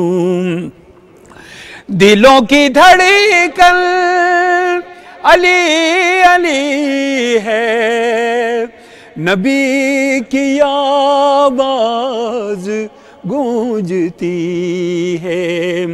دلوں کی دھڑے کل علی علی ہے۔ نبی کی آواز گونجتی ہے۔ تمہارے دل کو جلا ملے گی۔ علی کو دل میں بسا کے دیکھوں۔ خدا سے مانگو، ضرور مانگو، مگر حوالہ ہو پنجے تن کا۔ خدا سے مانگو، ضرور مانگو مگر حوالہ ہو پنجے تن کا قبول ہوگی۔ دعا تمہاری، انہیں وسیلہ بنا کے دیکھو۔ نزول ہوتا ہے رحمتوں کا یہی گھرانہ ہے برکتوں کا۔ علی کی محفل، خدا کی محفل، خدا کی محفل میں آ کے دیکھو۔ اگر تمہارے وطن پہ حملہ کرے کوئی شب کی تیرگی میں۔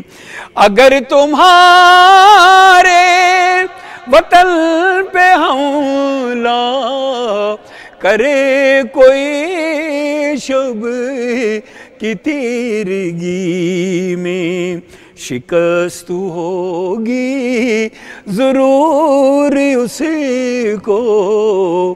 علی کا نعرہ لگا کے دیکھو۔ اور دعائیں دے گی علی کی بیٹی۔ تمہاری نسلوں کو تا قیامت دعائیں دے گی۔ علی کی بیٹی، تمہاری نسلوں کو تا قیامت بنا میں اصغر پیس کی نام کسی کو پانی پلا کے دیکھو، جو سر بلندی کی آرزو ہے۔ علی کی چوکٹ پہ آ کے دیکھو۔